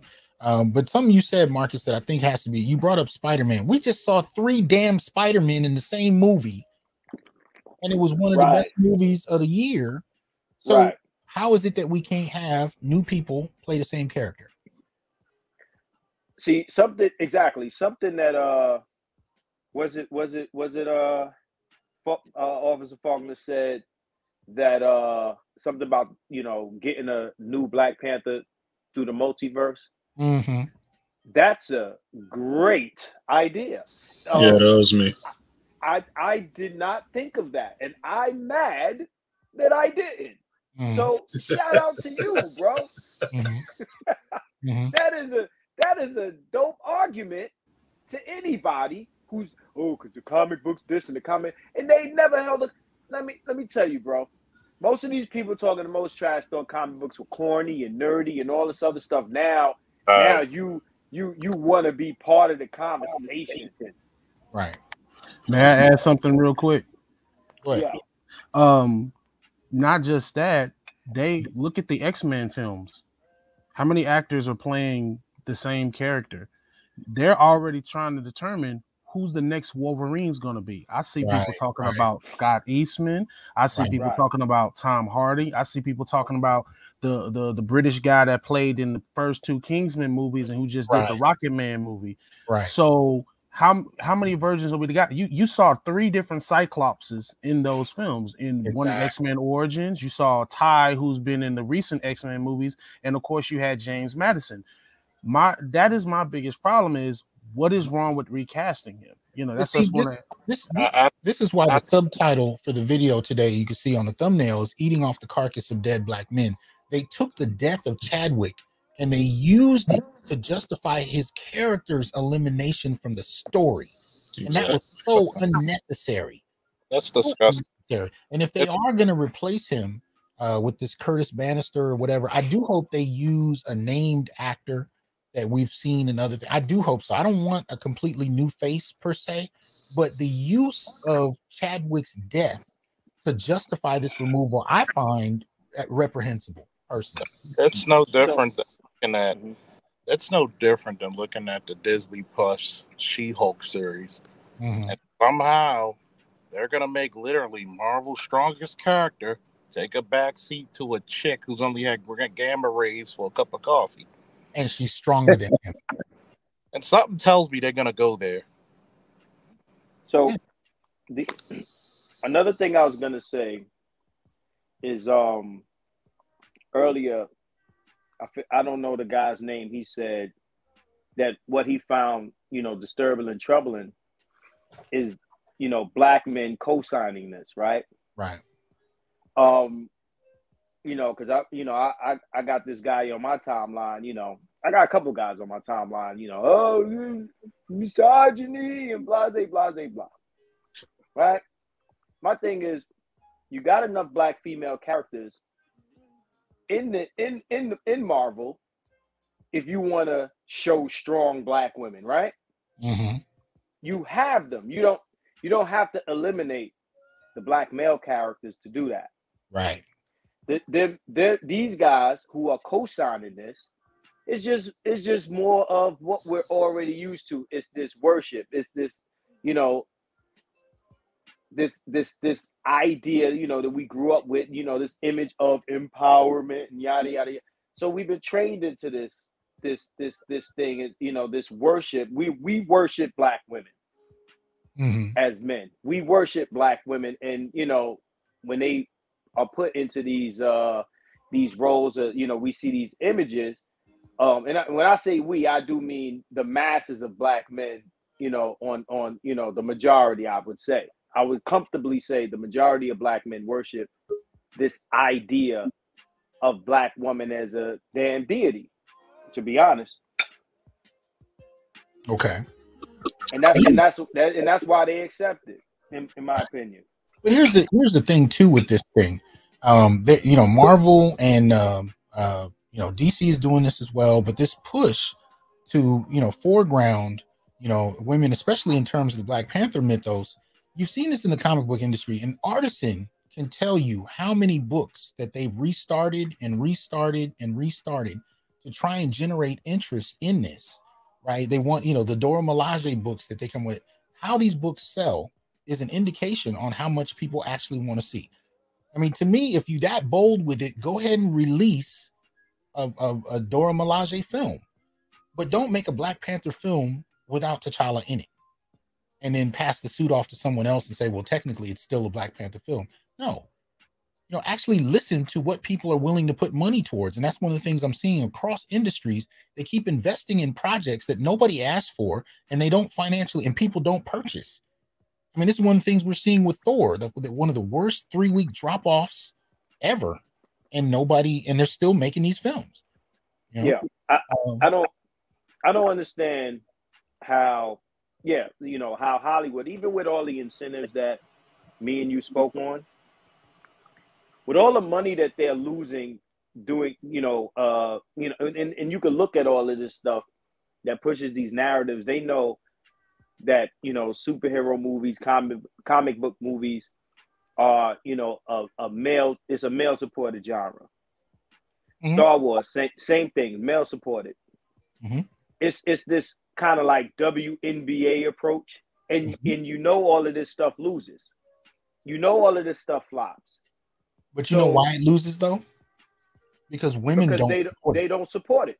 No, Bill Burr. Bill Burr was absolutely right. He said when the NWA WNWA is failing, we don't look at women. We blame men for its failure, even though that. the male NBA funds it, but women don't support it. If you, Right. if, you know, and, and that that does include comic book movies. Now, I'm not saying women don't support them; they do to an extent, but that's this is see this is the project the problem with making projects without asking women if they even want it, right? If you don't even bother to poll women to see what they want, because you know what women do watch. The- the- what- What's all the, the the wives of y'all know 'em better than I do? These reality shows that are on, they watch that. Yeah. They But watch see, listen, these they, they don't want it because they want it, you know, or to to to to consume or to enjoy. They want it to exist for its own sake. You know, my my magazine that I do with the with the female models in it, I've had girls come to me and say, "Hey, uh, Marcus, why don't you create a magazine with men in it for women?" I said, "Because y'all won't buy it." I've been saying that to them for years, for Yeah. years since I've been in the publishing game. I said, "You won't buy it. You know who will buy it? LMNOP. That's who won't buy it." Well, yeah. Um, I need to get some people cycled uh, out, so I'm gonna go ahead and give uh, Gavin a chance to share his thoughts. Um, and then we got because we had a couple people waiting in the queue to get up here. So those of you who are in the queue, just hold tight. Uh, Gavin, tell You, us what you you, can you can drop me down, uh, Doctor T. You can drop me down. I can come back. you want. I because I, still want to hear you on this. So I'm Okay. All right. go ahead, Gavin. Okay, um, when I saw the trailer, I was just like, "Oh my gosh!" I was really bummed out. I couldn't believe they could make another movie that actually was more woke and feminist than Thor: Love and Thunder, Okay, and that's saying something. right. Then you have the fact that, all right, M'Baku, I believe he's just going to be a figurehead. He'll probably just be there maybe five minutes out of the entire movie, kind of like in a horror flick. The Batman's the first one to go. That's how I see it. Okay, It's ridiculous.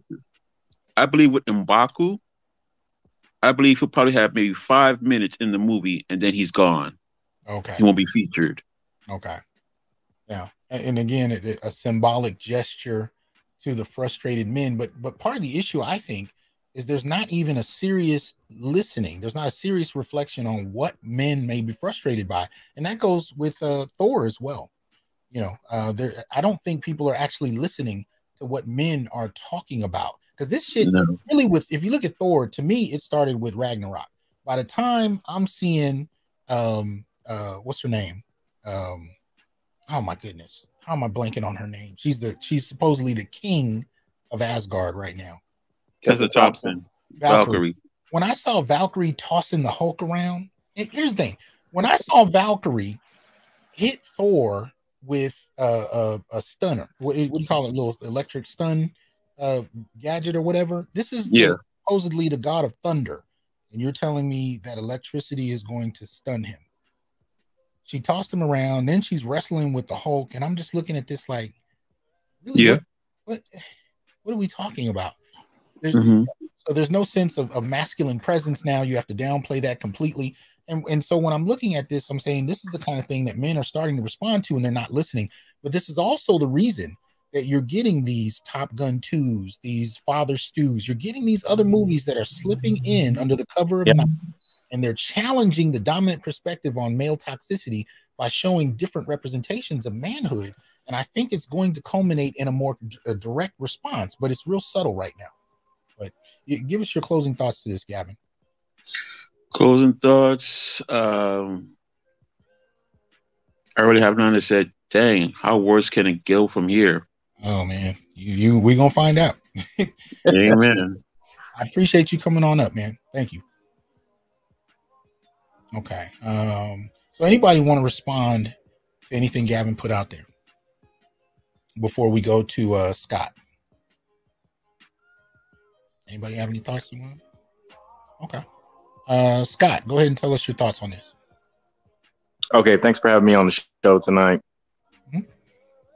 Uh, I wasn't sure if I was even going to comment on it. I, I kind of pulled out an MCU kind of a while ago. Like, I mean, you kind of see the agendas, and I mean, the main thing with me was like with with Disney, like how they did Boyega and Star Wars. It was just kind of hard for me to go back to giving these people my money. But when I when I watched the trailer, the the thing that was the most unsettling to me was something that you touched on was the fact that they're using this to kind of capitalize off of Chadwick Boseman's death.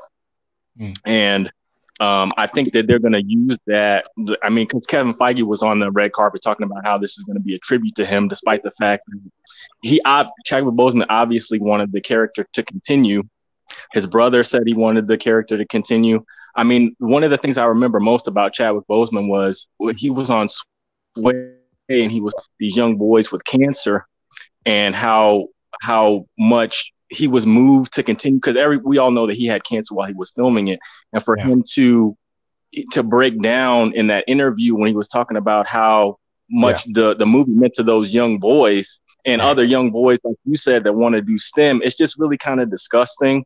And I, I just feel like we we as black men kind of need to raise our standards because like a lot of the other brothers were talking about how you know they're kind of surprised how other black black people are supporting this. I'm not surprised by it at all. I mean, it's like all you have to do is go and look at the the uh, the comments on the trailer. Everybody's talking about how emotional they are about. It. I mean, the only people that were really talking about um, the uh, recast of T'Challa was that one brother Iman, I think, on YouTube, and like Van. They used to be on um, TMZ. Everybody else is just kind of going along with the agenda, lockstep. So we we kind of have to be willing to challenge you know, Reginald Hudlin, who created Shuri, that was a terrible idea. Um, we have to challenge Ryan Coogler, who's going along with these agendas as well, who's obviously, you know, somewhat of an agent. Well, Um, yeah, but he, has been. He, they've said, you know, apparently the cast uh, has talked about him being a male feminist even in the first movie. But the thing is, Mhm. Hudlin's Hudlin's Shuri, his version of Shuri wasn't bad. She was just she was the little sister growing up in the shadow of the perfect Mhm. and and so when you saw that in the comics the, way they kind of wrote it was actually quite interesting in terms of sibling rivalry. And they would ji- chide each other just like we saw in the first movie. That part of it brought a three-dimensionality to T'Challa that I liked. He's a big brother you know he's a Mhm. son, but he, you know he's the golden boy and then he's got the sibling that's always a little bit of a mess up compared to him. And it created some interesting kind of tension but it wasn't until the film that you got the Mary Sue Shuri that supposedly Right. gets all the best characteristics of T'Challa for herself, and he's just this guy running around in the suit and can't get a girlfriend. Mhm. But you know, but I appreciate you uh, chiming in on this. Uh, anybody want to respond to some of the things Scott brought up? Yes, yes, absolutely. Um, I've been saying for a I'm while. gonna take, now I'm going to take you down, Scott, but I appreciate you coming on up. Go ahead, Marcus. Okay, thank you. I've been I've been saying for some time that I, I, I wasn't a fan of Ryan Coogler. I've been saying that for some time. And uh you know, all the things that I would hear him say in interviews and things that you know, like that, you know, it, it sounded like simp talk to me from from the very start. So when I you know, when I seen the movie, it didn't surprise me. And you know, like he said, it doesn't surprise me that people are falling in line, you know, whether it be, you know, like I said before, you know, in our culture, we worship, you know, uh, black women, Mhm. but um, you know, how liberal Hollywood. I mean, you you you have to if you're gonna say anything at all, you got to speak positive, especially with this type of film. You Mhm. know, with it with it being black women, like who who's really gonna come out like of of of you know you know like a reputable person like an actor or anybody in the industry and speak out against this, it, you're you're automatically the villain. Well, here, but here's the here's the importance, and and I and I'm and I'm sure there are other films, but these are the two that are just on my mind because I saw them recently, or three. So again, Black Phone, Father Stu, and and Top Gun Two.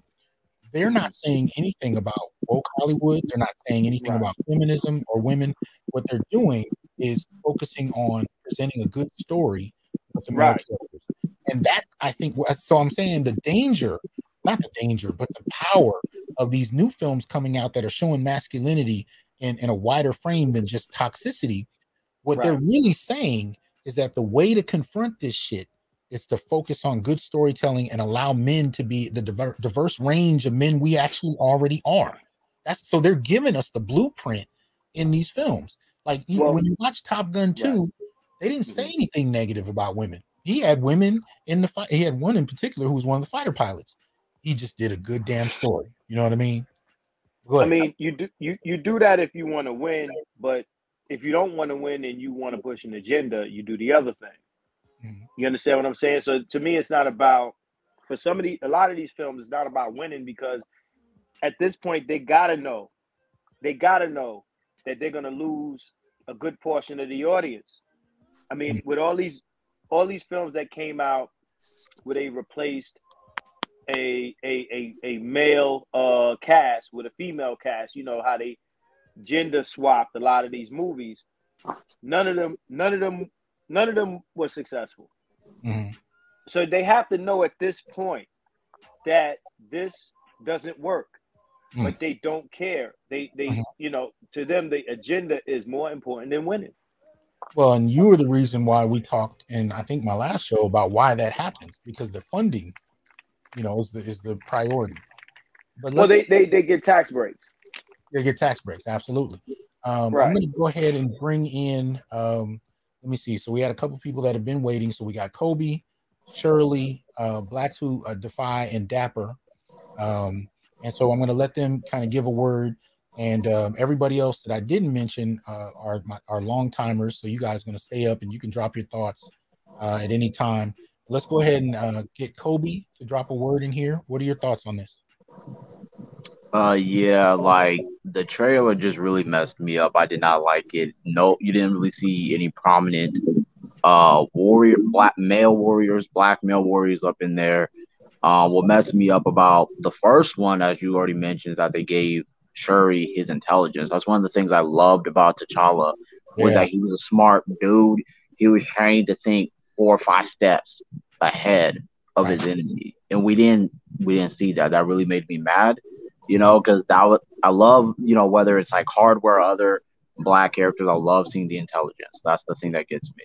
So, you know, seeing that messed me up, and then seeing, you know, just the trailer, just them, just like the woman king, King Valkyrie, just the continuation of okay, let's move aside black male authority, let's move that aside, and let's just focus on black women empowerment. You know, it's just and yes, I've seen all over people like uh Shuri was t- was Black Panther the comics. I was like, okay, but people want to see T'Challa. Nobody wants to see Shuri as Black Panther.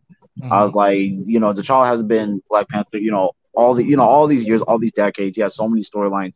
People want to see those storylines um adapted into live action. Nobody, no, know, nobody, no real comic book fans I know is really gonna go to see Black Panther movie and say, I want to see Shuri as Black Panther. You know, but yeah. well they're trying to bring in i think a whole generation of girls and they're hoping that they can you know kind of uh, they, they can really maximize that and i think they kind of look at it like well we already got the boys so let's focus on the girls but they're actually losing the boys and men in the midst of all this and they don't seem to care and that's one of the interesting things about this but does anybody else want to respond to kobe's uh kobe's thoughts kobe i'm gonna take you down but i appreciate you coming up man Yeah, I'll go. All right, thank Um, you. It's actually what to, to that point. It's actually counterproductive why they bought Marvel and Star Wars in the first place. Hmm. Your the objective of buying those properties or those IPs was to bring in the boy fan base. Hmm. Now you're going against that, and lesson learned because like I like I said on Artisan Show, I'm a Power Ranger fan. I'm a '90s kid, so I grew up watching Power Rangers. I watched them screw up Power Rangers when they tried to do it with them. They bought Power Rangers from Saban. They didn't know what to do with it, and so they messed it up. As Saban, when he bought it back and put it on Nickelodeon, he said Disney screwed it up. So I'm already was like I'm already sour. But let me say this real quick before you add on. I've been sour on the way on the black representation of the male hero since the beginning, starting with War Machine and the mm-hmm. BS that you heard with Terrence Howard. Right, okay, right. so I've already been soured on that character that you've already had to recast him. Secondly, mm-hmm. then Don, with Don Cheadle, you cripple him. Then you kind of you kind of make his character a jokey joke in Iron Man 2 when he does the tank buster thing, and it's like a joke. Then you make him Iron Patriot. Then Falcon, you look at Falcon, you take him and give him Captain America's thing. So basically saying that the only way he can be a legitimate superhero is if you give him the white boy stuff. Mhm. I don't I have a problem with that. Third, Well, along with the fact that all of them are neutered and have no, you know, relationships at all. But go ahead. Third, yeah, thank you. Third, you got Luke Cage. I don't really want to Mhm. see season three because by the time you end season two, you're going to try to turn him into a crime boss almost. Oh, to where yeah. you have, if you look at that, then you have you have Goliath, Laurence Fishburne. You, he's kind of a semi-villain in Ant Man, and you got Ant Man, uh, uh, Hank Hank Pym hating on him because he can get bigger. Okay, Mhm. that's a problem for me. Then you got Nick Fury. Oh my God, we thinking that he lost his eye in this big battle, and what do you do? You make a joke out of it. He get his eye, you get his, you get his eyes crashed out by a cat, a space cat, an alien, whatever. And then Right. lastly, you got Black Panther. Black Panther. First off, as everybody pointed out, you rob him of his intelligence, of who he is, is in the comics, because that's what most of us, especially us black men, love him because he was an intelligent dude who could fight and he was the king and he could do all that. Then you don't even do him have the, the respect of recasting the character because his brother said that. He stated that before he passed. The move on, move on with this character. So I have been having a problem since the way they've done Right. all of these black characters. Right. Period. So Right. This doesn't surprise me one bit. Upsets Mm-hmm. me, yes, but it doesn't surprise me. Right. I appreciate it. Anybody want to uh, respond? Absolutely. Uh, he had a uh, hi, Blast you to fire here. Thank you for having me on. Uh, my man, he hit on all the points I wanted to make, but I'll make a few more. Uh, I'll go a little macro. Anybody see Terminal List? Yes. Okay, Terminal List, a- amazing, amazing show. Why was it amazing? Because it was great tor- storytelling. You could, it was believable, even the parts that weren't believable. Furthermore, they didn't try and emasculate. Hey, hold, hold, hold. I'm gonna close off everybody's mic because I'm I'm hearing all kinds of background. Uh, I don't know who it's coming from, but um, hold on one second. I think I accidentally turned off. Black. Okay, actually, I think you. Uh, go ahead and finish. It was it me? It, it might be.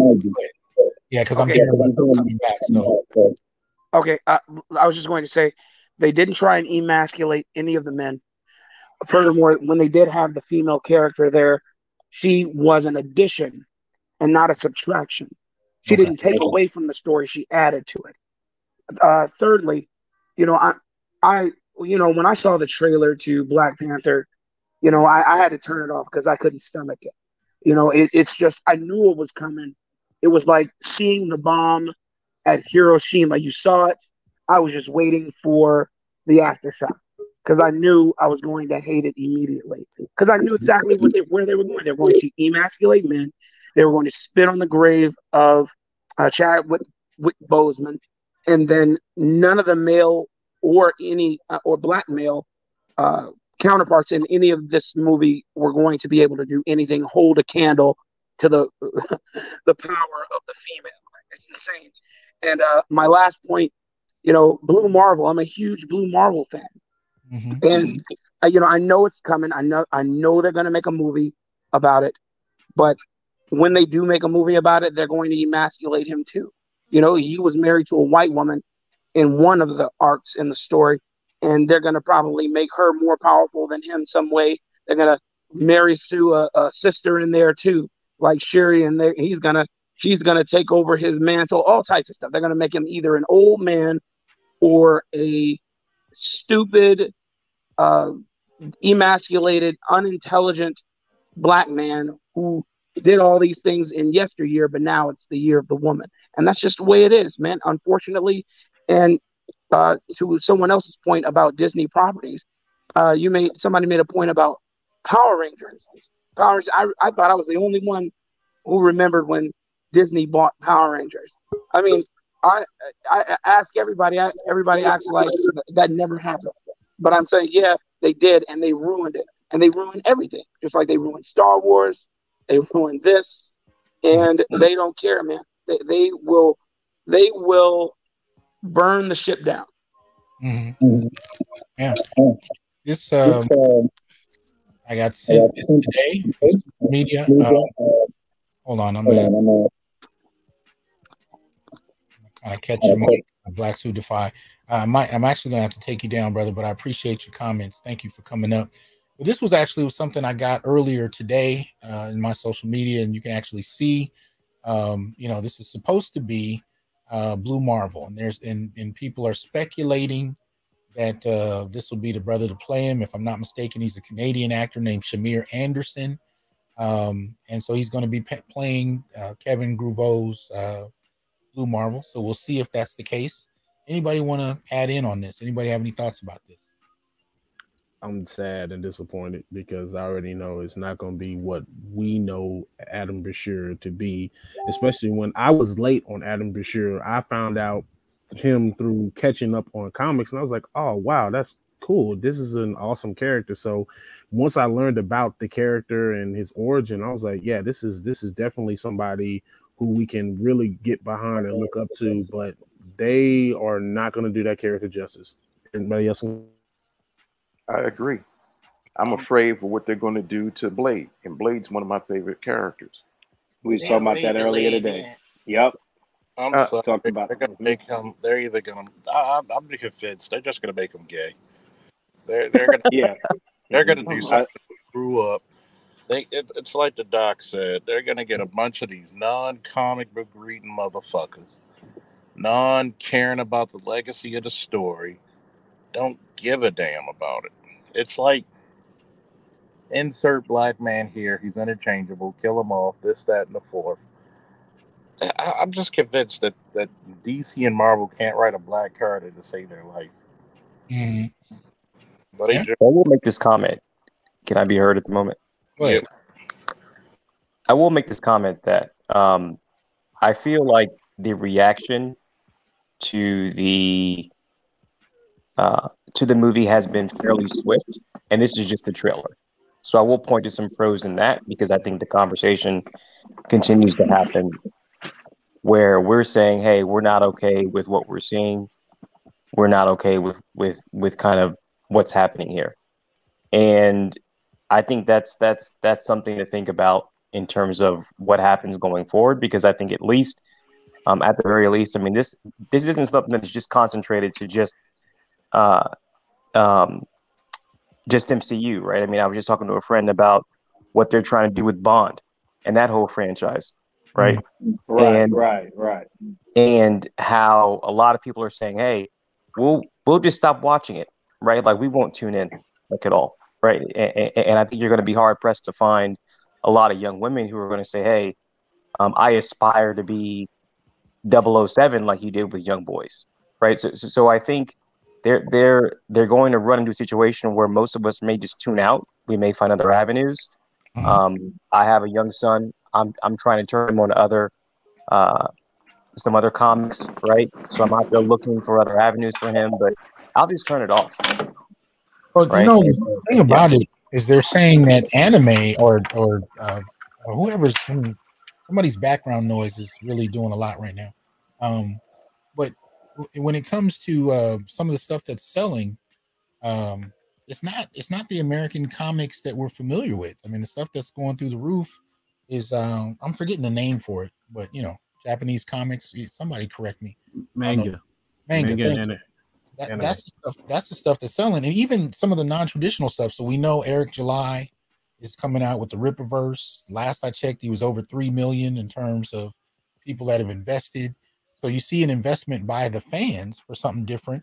Um, I just got hit to um, uh, uh, Genndy Tartakovsky's. I, I'm mispronouncing his name. I'm sure. Uh, this is the guy who made Samurai Jack. So he he has a new show starting its second season called Primal that I just started watching that is really good. So you have, I think what DC and Marvel are kind of initiating is a blowback where many of the fans who have been really dismissed are finding interest in areas in other areas and and kind of like you know what uh, Dapper was just saying a second ago. They're trying to even introduce their kids to comics, and they're willing to go to places they've never really gone before because there's nothing for them at Marvel and DC. Anybody else want to respond to that? Yes, me. What? Um, when you was talking about DC, um, they had scrapped um Cyborg, and they never say why. You said they scrapped Cyborg? Yeah, he's supposed to have his own movie, Oh yeah. and never hear about it again. Ah, I think they ah. fired him because of that guy that played the Flash. He started something. No, it was because all the stuff that Ray Fisher was saying behind the scenes about how they were being racist and stuff like that and reducing his role that Warner Brothers at that time, the people that was the head of it, you know, basically retaliated against his ass and blackballed him out. So that's why he wasn't getting his movie. Yeah, just like um um what's that show I used to look at? Black Lightning. They didn't have to take that off. That was good. It was getting ratings. No, but they wasn't. was focused on They took that shit off like way too late. That movie, that show, that Oh. show was terrible. I was, It was okay. It just No, it it didn't need to focus on I'm sorry. I'm, I'm sorry, Shirley. I got to tell you this. All of us here grew up with Black Lightning in the comics. Black Lightning was the version that we saw in DC, how the way we grew up with Black Yeah, I know. I remember But that. here, but here's the thing: which you have to understand, what they did to Black Lightning, they neutered him in that show too, because they made Right. both of his daughters be disrespectful to him, and Yes. he moved to the backseat. And even as he progressed as being the principal of the uh, school, being a superhero, and also trying to save the city, his wife, his ex-wife, and his daughters showed him disrespect Yes, I remember. but even by him being a hero even by him doing whatever that he was doing and he whatever that he did it just showed as a black man you could still never get any respect Yeah. he's holding the world on his shoulders and is showing how the way black men whatever you do it doesn't matter when you come home you still get disrespect and the funny thing was if it wasn't for him his daughters would never have their powers and they would never have the lineage of becoming superheroes Well, if it wasn't for him, his daughters would have been dead in the first episode. Also, That's true. let me add this But- too. They oh, oh. also, real quick, let me add this and then I'll let Okay. you go, Shirley. They also presented that freaking morality question that they always want to throw on black men as opposed to the white superheroes that, they did in both Luke Cage and in these and the Black Lightning show. The white superheroes can go kill people with and it be for the greater good, but when it comes to the black superheroes, there's always this question around morality because you know you got to be the quote unquote Gordon Good brother or the soulful saint.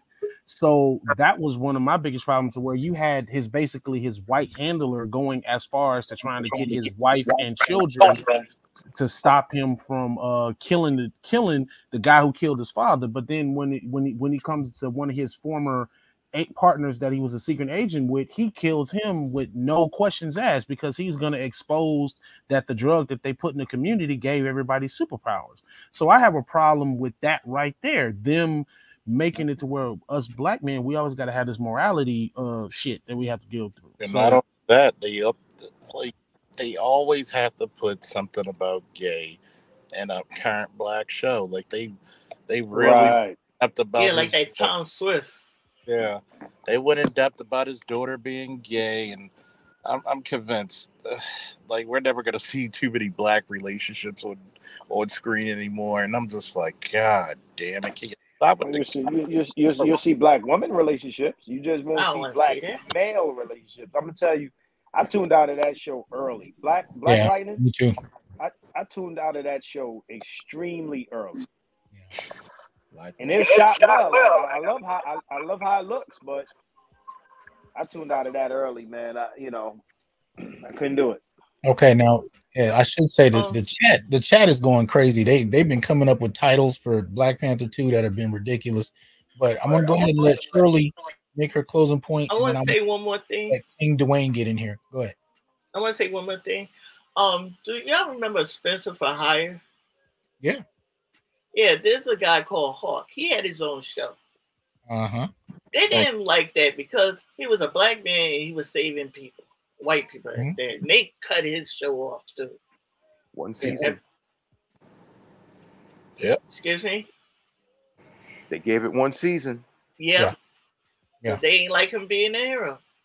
But but at least with that you got the redemption uh, uh you know of the actor, you know, Yeah. with with uh, Star Trek Deep Space 9. But yeah, I used to watch Hawk. Hawk was the man. Yeah, I liked it too. I'm just saying. But Yeah, I Hawk wish they good. didn't take that off. Yeah. I But. I, I am disappointed of Black Panther too. I'm disappointed in that. Uh, don't worry, Shirley. I'm coming out with a show called A Man Called Falk. Don't worry. All right, appreciate you coming up, Shirley. Excuse me. I said I appreciate you coming up. Thank you. Thank you. Okay. Um, let me see. Okay, now King Dwayne is your, is your sound hooked up? Uh, are you able to hear me well? Yeah, we hear you. Okay, I want to say good evening to everybody. I appreciate you, Dr. T, for having me on. Um, I actually sent a picture to your Instagram. I hope you get it. Um, but someone mentioned back in Civil War how just how masculine and how powerful we saw Black Panther as he jumped on the scene and just his smarts and everything. You know, he was supposed to be like Bruce Wayne on another level, and you know, from what I I could tell. Um, you know, I'm not going to try to act like I'm some comic guru because I'm not. Um, I remember when I was younger, I I would have different comics all the way down to the Ninja Turtles, but at some point I got away from that. Um, but I did keep up with a lot of things that came out. And when Black Panther came on the scene, I was happy to see a so-called black man, you know, who, you know, was able to get that spotlight and we had our superhero, so to speak. Um, and I do agree that I started to see throughout the movies as each phase started to go on, you started to see things diminish with him and certain characters like that. And I remember uh there was a guy by the name of Chronicles of Judah. He uh he had a picture, and in this picture there was all the women superheroes from um Endgame that were in that final war scene, uh, the like the main stars. There was a scene of them on the set, all sitting around the table, and the brother noted and he pointed out, "This is the real Endgame." and and so it made me think about when you guys were talking earlier in the show about how it's like there there is a clear indication and a clear agenda where it seems like they are trying to push this this new thing where they're just trying to you know take the masculinity away and so i sent that picture to you i hope you're able to see it on your instagram to get a Okay. picture of what i'm saying uh, i just wanted to get on here and point that out because you do kind of see how they're just they just let it's time for the the women to take over, so to speak. Mhm. Um, yeah, okay. No, I appreciate that. I'm gonna take you down, King Dwayne, but I appreciate you coming up, man. Uh, does anyone want to respond to that? It's a obvious play that they're trying to kill masculinity. I mean, look at it. Not just masculinity, but black masculinity in particular. We're not allowed to get the girl. We're not allowed to be the commander to make the decisions. We're not allowed to. We're not allowed to be a maverick. What's remember? We got to be humble. Mhm. We're not allowed. What's the? You, you, you got your PhD. What is a maverick, doctor? You talking about a rogue? You talking about somebody that's out there doing something different? Yeah, when we allowed to be the maverick. The only time we're allowed to be the maverick if it's something the other the world could benefit from. Mm. We can't be our own men and have our own destiny charted out for us by ourselves. Right. We have to be in service to everybody else. We can't say, you know what, screw you. I'm gonna build my Wakanda. I don't You know what it is, Charles? You're that Go ahead. super ConcuSurf. Yeah. You- yeah, and, and it's funny because yeah, it's because I had a I had a conversation with a with a young lady. She's a from who from my job. She was like, "What's a what's a king without a queen? Still a motherfucking king." Like, Right. and she was like, "Well, you know, you're right, You're right." I said, "What?" I said, "Wh- wh- "When did y'all go out there and conquer land? The hell, y'all, y'all, y'all, y'all get a flat tire, the world ended." you know, bro, I've seen brothers out there with cancer as police officers who damn near walk to their deathbed. Hmm. And y'all, y'all get a hangnail, signal 13, officer down. Get out of here. It's it's, it's an agenda of stealing away your masculinity and destroying the warrior spirit in men, in particularly black men. They, they're not gonna have. get any. They're not gonna make no money from it. You know. Um. You know. So so they. You know. That that whatever the whatever the end game of this is, no pun intended. Whatever the end game of this is, it, it's not gonna be, um, you know, any financial, uh, gain from it. You know. I don't. I don't know what what Disney's big move is with with with all of this stuff. You know, whether this the stuff on the app or you know the stuff on uh you know in, in the theaters and, and things like that. I, I I don't know, but again, this is they're gonna lose a lot of money behind his head's gonna roll. You know, um, it was something else I wanted to say, but it, it escapes me right now. So I'm gonna let the next person speak. Well, what we're gonna do, I'm gonna let Dapper give his thoughts, and then I'm gonna let each of you give your closing thoughts, and I'm gonna end on Artisan. Um, so let me go ahead and, uh, and so Dapper, any give us your, your your any other thoughts you want to share? Um, I think we've already kind of sort of talked about it um, in a couple different molds here, right? But ultimately, I think at least when you just look at MCU, um, it's it's it's clear that there's an agenda being pushed, right? Like that that that shouldn't be open debate anymore.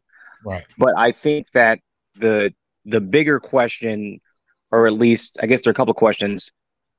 First being what will be the fallout post um, this sort of box office flop, because I think that is what's going to happen.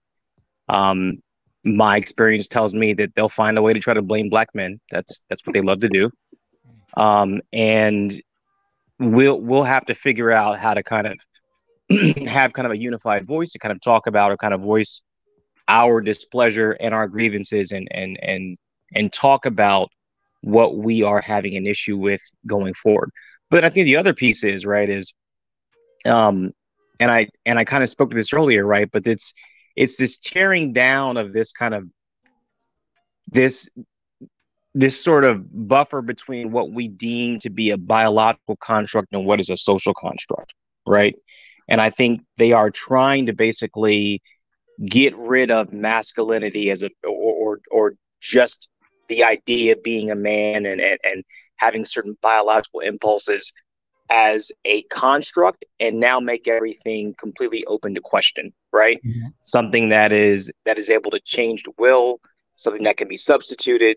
Um, certainly dr johnson can probably uh, can can can certainly speak more to this but it's it's it's becoming very apparent that they just kind of want to be able to kind of put things in and take things out. And and, and that's going to have disastrous consequences right? And people like myself um, who who don't agree with that we're going to check out right? And and and, and so the last thing that i'll just say is um, i think it's kind of on us to kind of find these other mediums these other avenues to kind of expose our children to um, to kind of continue with with with what we believe to be the correct way to kind of approach um, not only just the idea or um, kind of the concept of creativity when it comes to kind of superheroes and all these kind of things but you know everything doesn't necessarily have to be completely and utterly um, have some kind of like leering agenda at like at the heart of it right? Like just just let superheroes be superheroes right? Like let black panther be black panther. Like you don't have to have this whole feminine kind of movement behind it right? Like everything doesn't need to be usurped by feminism right? Like we we we need to have those conversations more and i kind of feel like that's that's where we're going to eventually get to um, but it's going to take some time. Um, so, so so so yeah so thanks for having me on. Appreciate it Oh, I appreciate it. Thanks for coming up, man. Um, so let me see. All right. So, uh, anybody want to start it off? Closing thoughts about this? Anything else you want to bring up? Let's go with Malika since we haven't heard too much from you, brother. Uh, I'm glad you had this, brother, because I was knocked out and I woke up and I was like, "Oh shit, Doc's on. He's talking about it." and I said, "Oh, all my boys is up here." So I'm glad that you spoke on this because I said this on Artisans. I said, "I hope Dr. T does this." So thank you for answering my prayers. Oh man, appreciate. I think Chadwick Boseman heard the prayer and put it in your head and put it down here. um, I, I'm gonna be real. This is some bullshit. Mm. Um, when I saw this, me and all you brothers, I saw the the trailer, And I just started looking at it and I just started shaking my head. And everybody was saying, Oh, this is beautiful. I said, Man, Yeah. if you put a bow around a turd, it's still a turd. Right. And I don't care how great and beautiful Ryan Coogler and how he can make it look all great and have people all dressed in white and they're showing, you know, murals of Chadwick Boseman. I said, but you know, when I saw that mural, you know what I thought of? I thought of the mural of George Floyd. Oh, okay. Okay. Yeah. And I said, okay, what does that mean to you? Just because you're trying to show something and you're putting a mural up of something, George Floyd was still killed off in a terrible way. Mm-hmm. The way they're making this out, you're still killing off the image of Chadwick Boseman and of Black Panther that we grew up with. I don't care if you're going to put Shuri at the end. You're not showing any strong masculine roles except for Namor. I'm not disrespecting the Mexican or the Aztec um, culture. That's cool. But I'm Mhm. sorry, I'm a black man first. Mhm. Where is my representation? Where is our representation of a strong masculine black man? Winston Duke is not that. They're going to show Winston Duke as the buck. Mm. Where is the representation of a strong, mentally strong, physically, spiritually strong black man that we saw as that we saw both in Killmonger and in T'Challa? Because I was saying to um Artisan yesterday, we both saw two great men. Now, they did something great with that first Black Panther movie. You didn't see Killmonger as a villain, you saw him as an anti hero, but also you saw him as a man that was showing his rage and his pain that a lot of black men went through. And you felt for him. But now mm-hmm. we're just seeing, now they're showing like Riri, and you're seeing her and, you know, the Gap movement, and you're seeing all the stuff, and you're seeing the Dora Milaje be, you're seeing all, all this imagery and all this stuff that you're seeing, no strong black image. And this is where you're going to see the, yeah, girl, we're showing you. And like how artists have said, Black Panther. But we're Wakanda forever Right. Right. Right. but there's no representation for men and they're saying well we as, there's no representation of black men like how you said there's no representation of strong black men in media period Yeah. they're, they're, they're, they're, they're phasing us out but they're now they're phasing this other mess in and that's why i'm saying this is some bullshit i don't care i love seeing angela bassett i don't care how she's going to give this regal appearance and she gives this great speech Mhm. that, that- great speeches don't mean anything to me. Show me representation of a man. When when I saw Luke Cage, I felt something. When I saw Black Panther, I felt something. When I saw Avery Brooks 30 years ago Right. up against Robert Urich, I felt something. When Me I too. saw Avery Brooks in his own, I felt it. When I saw him as Benjamin Sisko, I felt something. As a little kid, when I saw Richard Roundtree as Shaft, Right. I felt something that evoked in me. Right. I, I saw a man that I wanted to be. Exactly. When I saw when I saw LeVar Burton on Star Trek, I felt something. When I saw LeVar Burton on Reading Rainbow, I Mm. felt something. Mhm. I've when you see yourself being represented. When I saw John Stewart in an afro with no mask on as Green Lantern, I felt something. Right. When you take that away, you have a son who's 17 years old. At least he saw, and you tell him, like, son, this is what I've been waiting for for 40 some odd years. And I'm glad I can see it with you. But now he sees it as taken away. It's like now you see this BS as a commercial. And Well, you just see Well, no, you're right. It's just it, what further complicated that. I remember taking him to the theater to see Panther. By the time we were watching it, I was leaning more on Killmonger than I was T'Challa. Yeah. which was which was a split that I kind of low key resented because I didn't, you know, I wanted to just be in support of a hero who I like reading about. But also the way they, you know, again, the way they wrote the story and what they did to T'Challa was more upsetting to me than just the split between him and Killmonger. So all of that really frustrated me. And truth be told, my son got more out of more of a kick out of uh into the into the Spider Verse, and um, you know, it, it, and and Miles, he he got more out of that than he But did. But can I tell you something? Even with that, I hate it. Even though that okay, he's an awkward teenager. Mhm. When he's around Spider Gwen, he's still the bumbling idiot. Yeah. And I'm like, come on! Like when they and they're, the and they're still afraid of his sexuality, so he can't even so much as kiss her, right? That fear of black male sexuality in film, we've seen that for decades. and, and it gets me like, it, it it it just pisses me off to the point of like, like Paul Mooney would say, black people, we he had a joke about it. He said, but black people, we can't have shit. But I take it even further. I said, black men, we can't even have shit.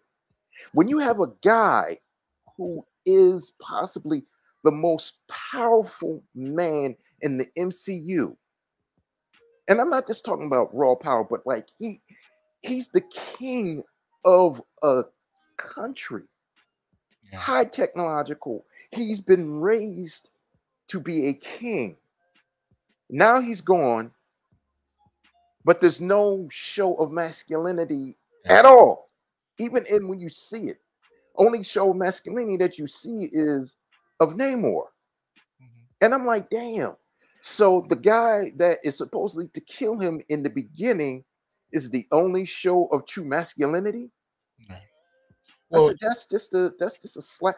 That's like a double slap in the face. That okay, I can understand a man dies in battle, but then we're going to show the other guys taking over. But then there's not going to be any show of any other strong masculine energy of this man who has the mantle until later on we're going to give it to a sister. Show of any other Okay.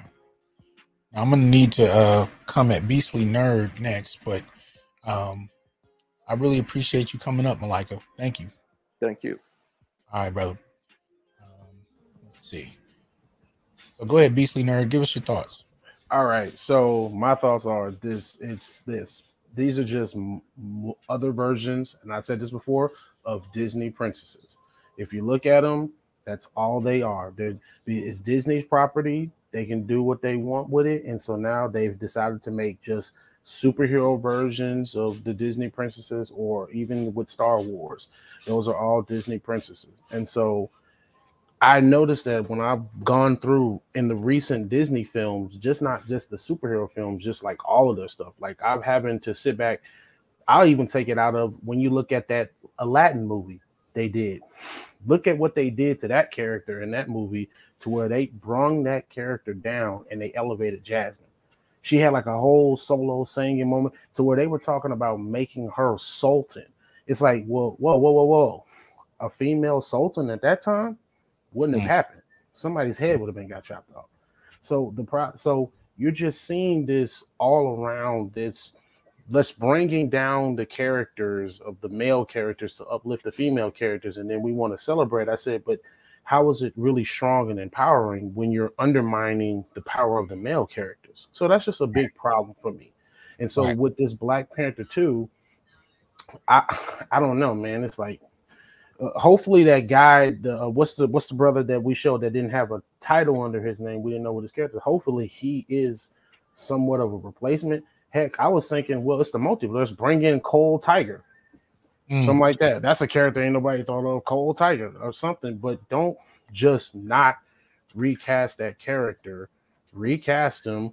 Like i said we're getting all the we got 13 different superman television film video game we got all these versions of superman you mean to tell me we can't get a new version of the black panther come on now Right, seriously right, right, right. but that's all i got on that that's my closing thoughts All right, man. Well, I appreciate you coming up. Thank you.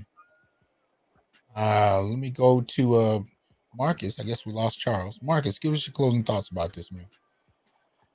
All right, so you know, aside from the things that we spoke on, you know, with uh, you know, Disney, Disney's portrayal of uh black men in Marvel movies overall, you know, we're we're asexual, we're Mm. other sexual, we're this, we're that, you know, when we're never that guy. Um, you know, even with you know, with T'Challa, I guess being the closest thing to being that guy. Um, the way, you know, aside from that, uh looking at it from that, from that uh point of view the other thing that i see is like you know when you look at that trailer it, it, it gives me this whole blm narrative of you know what black culture has become you know has become this strong black woman you know uh dead black martyr Right. uh man thing you know what i mean where you Right. know it's like okay like you look at the cover of rolling stone and you see the the black girl with a fist in the air with the baby and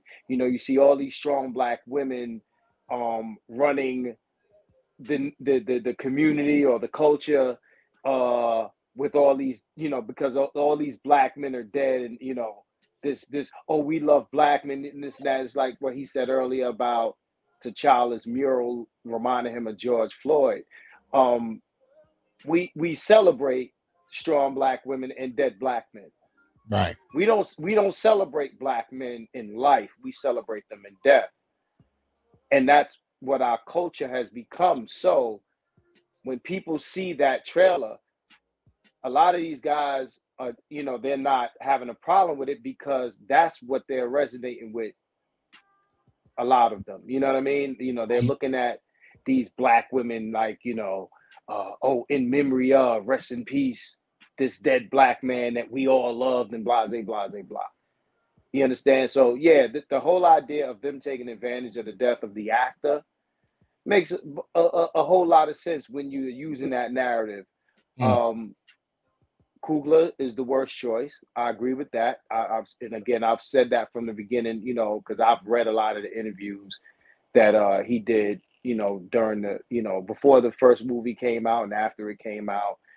And um I just again I you know, whether it be the Marvel franchises, the you know, the Marvel movies, the, the Star Wars franchise, you know, Disney uh, as a whole, I mean, you know, their portrayal of black men, and, you know, in their agenda at this point. I mean, I don't know how much money, more money they plan to lose uh, Mm. pushing this because they're not going to win with it. Earlier, you mentioned the Top Guns and all those other movies that are winning because they're not going this route. But uh, they're they're they're they're sacrificing a lot of uh, capital to Right. this agenda. Yeah. So yeah, so that's that's pretty much it for me, man. And uh thanks for having me in here. And y'all support the Keep It 100 channel. Uh, go over there and and and you know, like the channel, become a member, uh, subscribe. And I appreciate you coming up, man. Thank you. Most definitely. Peace. Peace. Brother Artisan, close us out, man. Give us a give us a perspective on how to handle this and what you recommend uh, should happen. Well, um, thank you for having me up here and, and and actually doing the stream on this because, like I told you before, I really do respect your opinion and your perspective on it. I see things one way. I'm not expecting everybody to see it that way, but I'm really welcoming of hearing other opinions and how other people see it because you bring a different different lens to it when you look at it. And all the brothers that came up here made a lot of good um, points. A hell of a lot of good points on this movie that's really just making me think, damn, it might bomb. You know, I was thinking it, it might float itself, but Yeah. given the sentiment out there, if you're just taking a, you know, using this as a sample size, is like nobody really going to see this movie but a bunch of, um, you know, pale folks. Like, so, Well, you know, it, they got a lot of black women and girls interested in the first one, so that I think they're mm-hmm. banking on that, well, and that, we'll see how that goes. Yeah, well, that's that was the reason why I think you're seeing Black Panther two going the way it's going because so many people got jazzed about seeing the Dora Milaje and all that stuff up there. They just wanted to take it after that. You know how black women is. You got something, you know, you having a good time with. They got to take that now if somebody like it. You know, that's that's that's mine. You know, that's the little sister thing, right? Mhm. Like you, you got a nice toy, everybody like it. I need to have that. So, um, being upset about this whole thing, my main thing to say in things people should do is write your own material, please. If you're a black man out there, you got some two pennies to rub together and a creative idea, write your own stuff and put it mm-hmm. out there. Because to be honest with you, I'm tired of having to deal with two different companies that's both giving me BS in both ears. I'm sick of that. I'm sick of that personally. Like you talked about Eric July and in the Rippaverse. Why'd I send him money? Because I want to see something else. I really do. I'm so serious about seeing something else. I don't care who putting it out. Let me know or- you got a book coming out. Or Black, or Black Sands. Black Well, Sands. Black Sands, yeah, he should have shut his mouth. But even even him, even support him. And and, it, and if you can name anybody else you recommend, please do, man. Um, Fracture Comics, my homeboys, uh, Joe Thompson and Chris Adams. Definitely pick up their stuff. They do um, American manga because they're big anime and manga heads, and they do American style manga. And it's good art and it's really good stories. Writer, both writers, both film school guys. My boy Chris Adams works in films to this day. He worked on. I told him it wasn't a ringing endorsement, but he worked on the Matrix Four. But you know, Yeah, I wouldn't say that. I wouldn't tell. yeah, no, we dressed him down about that because he came on the show, so we dressed him down about that. but he got to share his experience on it. So experience is experience. But do your own stuff. I mean, for real. Um, it, is, it is my belief that the pen on the black male creativity has never gone dry. So all Mhm. you need to do is actually put it out there, and it's easier than it's ever been right now to produce and put out your own book. My boy Joe works a regular job. He puts out his own book. He at least got four trades to his name right now. That makes him a published author. Mm. Nice. Ripper is now a published author. As soon as you you've already bought the book, if you bought it, as soon as you get it, he's a published author. Right. That's an accolade that not everybody can have. It's easier to do now than ever. Put your own stories out, please, because you're gonna get more of this. And like Dr. T, I walked out of Thor 4 and I was like, what what did what Yeah. what did I just watch? Yeah. And I was really just overly apprehensive about Black Panther coming. I thought, I know I'm about to get more of the same thing. I'm about to get the same BS again. And then they dropped the trailer, and I was like, oh damn, it's worse than I thought. Worse, yeah. Yeah, so it's it's really And it's If I didn't- confusing because the cinematography might be great, the Mhm. special effects might be great, even some of the themes, but then you know the core story is is absent. The primary group that Panther was designed to to attract. yeah, it-. Yeah, totally totally divorced to that. I mean, and this is the biggest case. You guys relating it to BLM is exactly what it is. It's a spring, another springboard off a dead black man Yes. to catapult somebody else into making a bunch of money off of him, and it ain't another black man. Yes. Now, I'm hoping from what you showed on IMDb, I'm hoping that that brother is actually coming in as some multiversal um, T'Challa from another universe. That would that would be a big twist and would- would make for me it, it would be something worth seeing in the movie. It'd be something worth seeing because other than that, I'm not seeing anything worth seeing. Not even Namor. But I'm really not even jazzed about Namor because at this rate, the way it looks, I can wait till December and watch the Avatar and see the same thing. So I'm, I'm really not, really not. no, Well, but, the, see, but the thing on the Black Panther, even if that dude is a, another, you know, multiversal Panther, I would like to see a named actor that I'm excited about play that role. I'm not mm-hmm. excited Yeah. about a guy I've never heard of before, but you know, the idea of the T'Challa Panther still being alive is cool. So yeah. Well, for me, I'm I, w- I would really like Marvel and Kevin Feige to go away from getting name actors because my my thinking on this is the first 10 years of Marvel worked well when you had a bunch of actors, not all of them really well named. Like Chris Hemsworth wasn't really well known before he got that Thor role. And because of that, he's been the one that's hung around the longest because he wasn't asking for the most money up front. Every time you get a named actor, you got to pay them more money up front. Like I know. I'm gonna say this again. Ask Taika Waititi where the rest of the money is for Thor 4. Right. Where's the rest of the money? I think he pocketed that. don't- I think he pocketed I don't it think too. it went all to Christian Bale. huh? I don't think it went all to Christian Bale or Russell Crowe. Where's the rest of the money, dude? Because it wasn't in the special effects, and it wasn't in the script, and it wasn't in the acting. So where's the money? But you I know, know. I will say this: when when the Avengers thing was finally just starting to kick up, there was a whole big push about how na- how big the name should be. That's one of the problems with comic book movies going back to you know Christopher Reeve era. If you're mm-hmm. going to do a superhero movie, Christopher Reeve wasn't well known. You know, as soon as you start getting big names like Tom Cruise, it's going to kill the budget, and they're not going to be as interactive with future projects.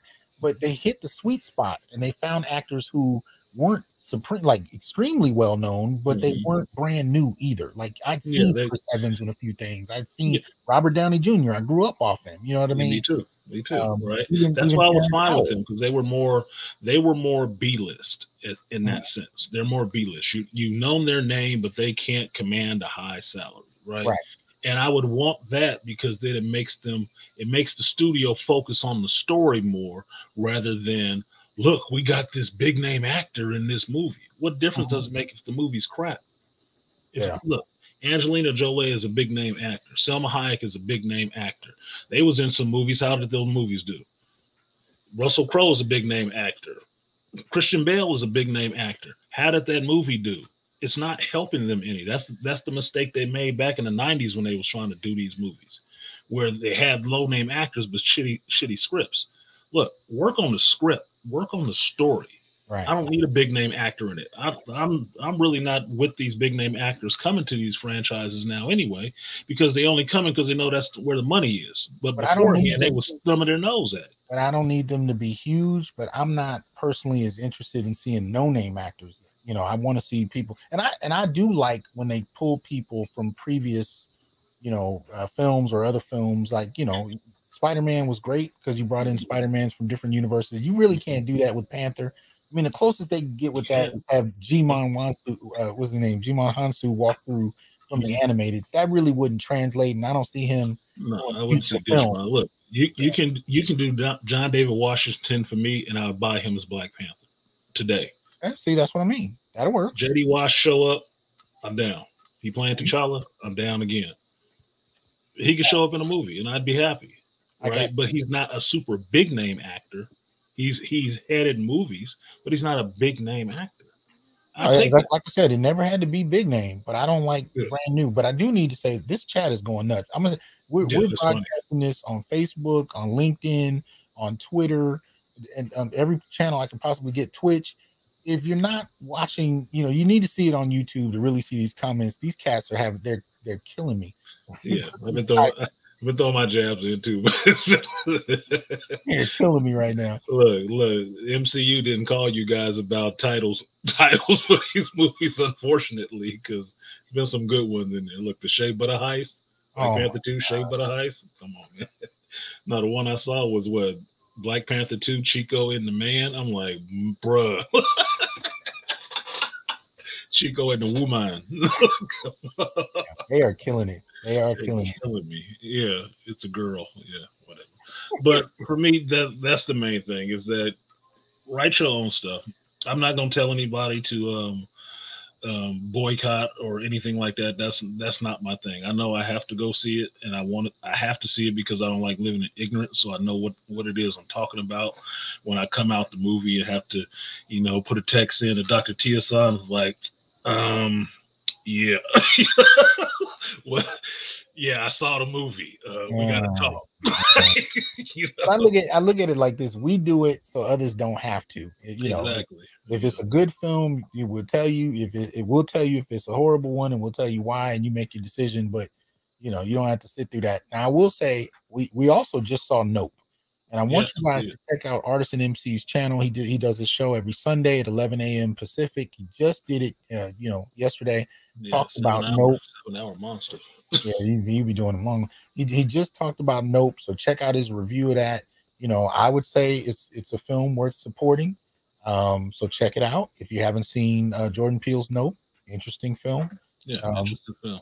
You know, not Definitely the best thing I've ever seen, not the worst. Go ahead. What'd you say? No, I said definitely go see it so we can talk about it. It was it was not us. Put it that way. If that will sell you on it, it wasn't us. it was not Yeah. But I appreciate you coming up, man. Any closing thoughts? Anything you want to tell people? Because I want people to support what you're doing. And, Um, uh, like Dr. T said, I do my um show Shop Talk Live every Sunday, 11 a.m. Pacific time, 2 p.m. um, Eastern Standard Time. I drop random videos during the week and live. So if you subscribe and click the bell, you'll hopefully get it when um, I go live and just share thoughts and stuff like that. Um, otherwise, you can check out the store. I do own a comic shop currently, um, and stand up comics in uh, El Cerrito, California. You can check that out there. But other than that, just you know, support black males and black male media wherever you find it. If you know some black brother that is actually doing comics or something like that, try to support him and buy his stuff and, and put the word out there so the rest of us can hear about it and support him. Because if for me, if Ripper can raise three million dollars, that means there's people out there with money in hand to pay you for a book that you got out there. All you waiting on is the exposure so people know where to get it and where to find it. Put that information out there. We need to be helping each other more because otherwise we're gonna keep getting crap like we're sitting here talking about right now. You got to write your own stuff and you got to get into these businesses and push these people out of there because they're not gonna leave other than dynamite. So Okay. Well, know, thank you, man. Appreciate it, Dr. T. Hey, man. Appreciate you uh, coming up. Appreciate you in general, man. Talk to you soon, brother. Peace. Peace. Well, that's what it is, folks. Um, you know, I'm interested in reading more of the comments. Somebody said that before I go to bed, I should read through these because they're gonna kill me. You're probably right. Um, I look forward to doing it, but also uh, continue to give us your comments um, in the non-live chat. Let us know your thoughts about this and ideas you have, uh, and and definitely share media that you think we should be checking out that allows masculinity to not have to be undermined simply because it exists. Uh, so please go ahead and support along those lines. The only other thing I would add to this is, you know, we need to be unapologetic about challenging these critiques, these narratives, these things that are coming out that, that they seem to think that we're supposed to just take quietly. I want to hear more of us be outspoken about the issues we have with it. It's time to, because at the end of the day, especially in regard to the black male image, nobody is actually coming to the rescue of that for that, for the black male image, but black men and boys. We have to, as we're the only ones that are going to push this. Nobody else seems to care, especially considering and they and they don't have a problem eating off of our image for the sake of their own advancement at our expense. And I'm talking about within the black community and outside of it. So we got to be outspoken about the problems we have with this. And this also lets know, uh, you know, future producers, future content creators know what standards we have and what things we're interested in seeing. So I hope we continue to have these kind of critiques and voice these issues. I'm going to continue to try and put them out as long as I can stomach watching some of this stuff, even when I really don't want to. But uh, that said, appreciate y'all watching the show. Uh, I will see y'all soon. Peace. I am here to tell you, brothers, we are not criminals by birth, perennial rapists, incapable intellects, man children, sperm donors, child support wellsprings, success objects, walking phalluses, ATM machines, lottery tickets, unintelligent henchmen, valueless assassins, pro bono mercenaries, unpaid bodyguards, interchangeable stepfathers, child discipline proxies, unpaid repairmen, workhorses, emotional tampons, or any other socially accepted dehumanizing stereotype. We are thinkers, inventors, innovators, leaders, fathers, and men. Embrace your humanity, know your worth, and extend your time, attention, and resources only to those who genuinely respect you. And remember, your worth is not defined by meeting other people's narcissistic, selfish, and unrealistic needs. You define your worth. Peace.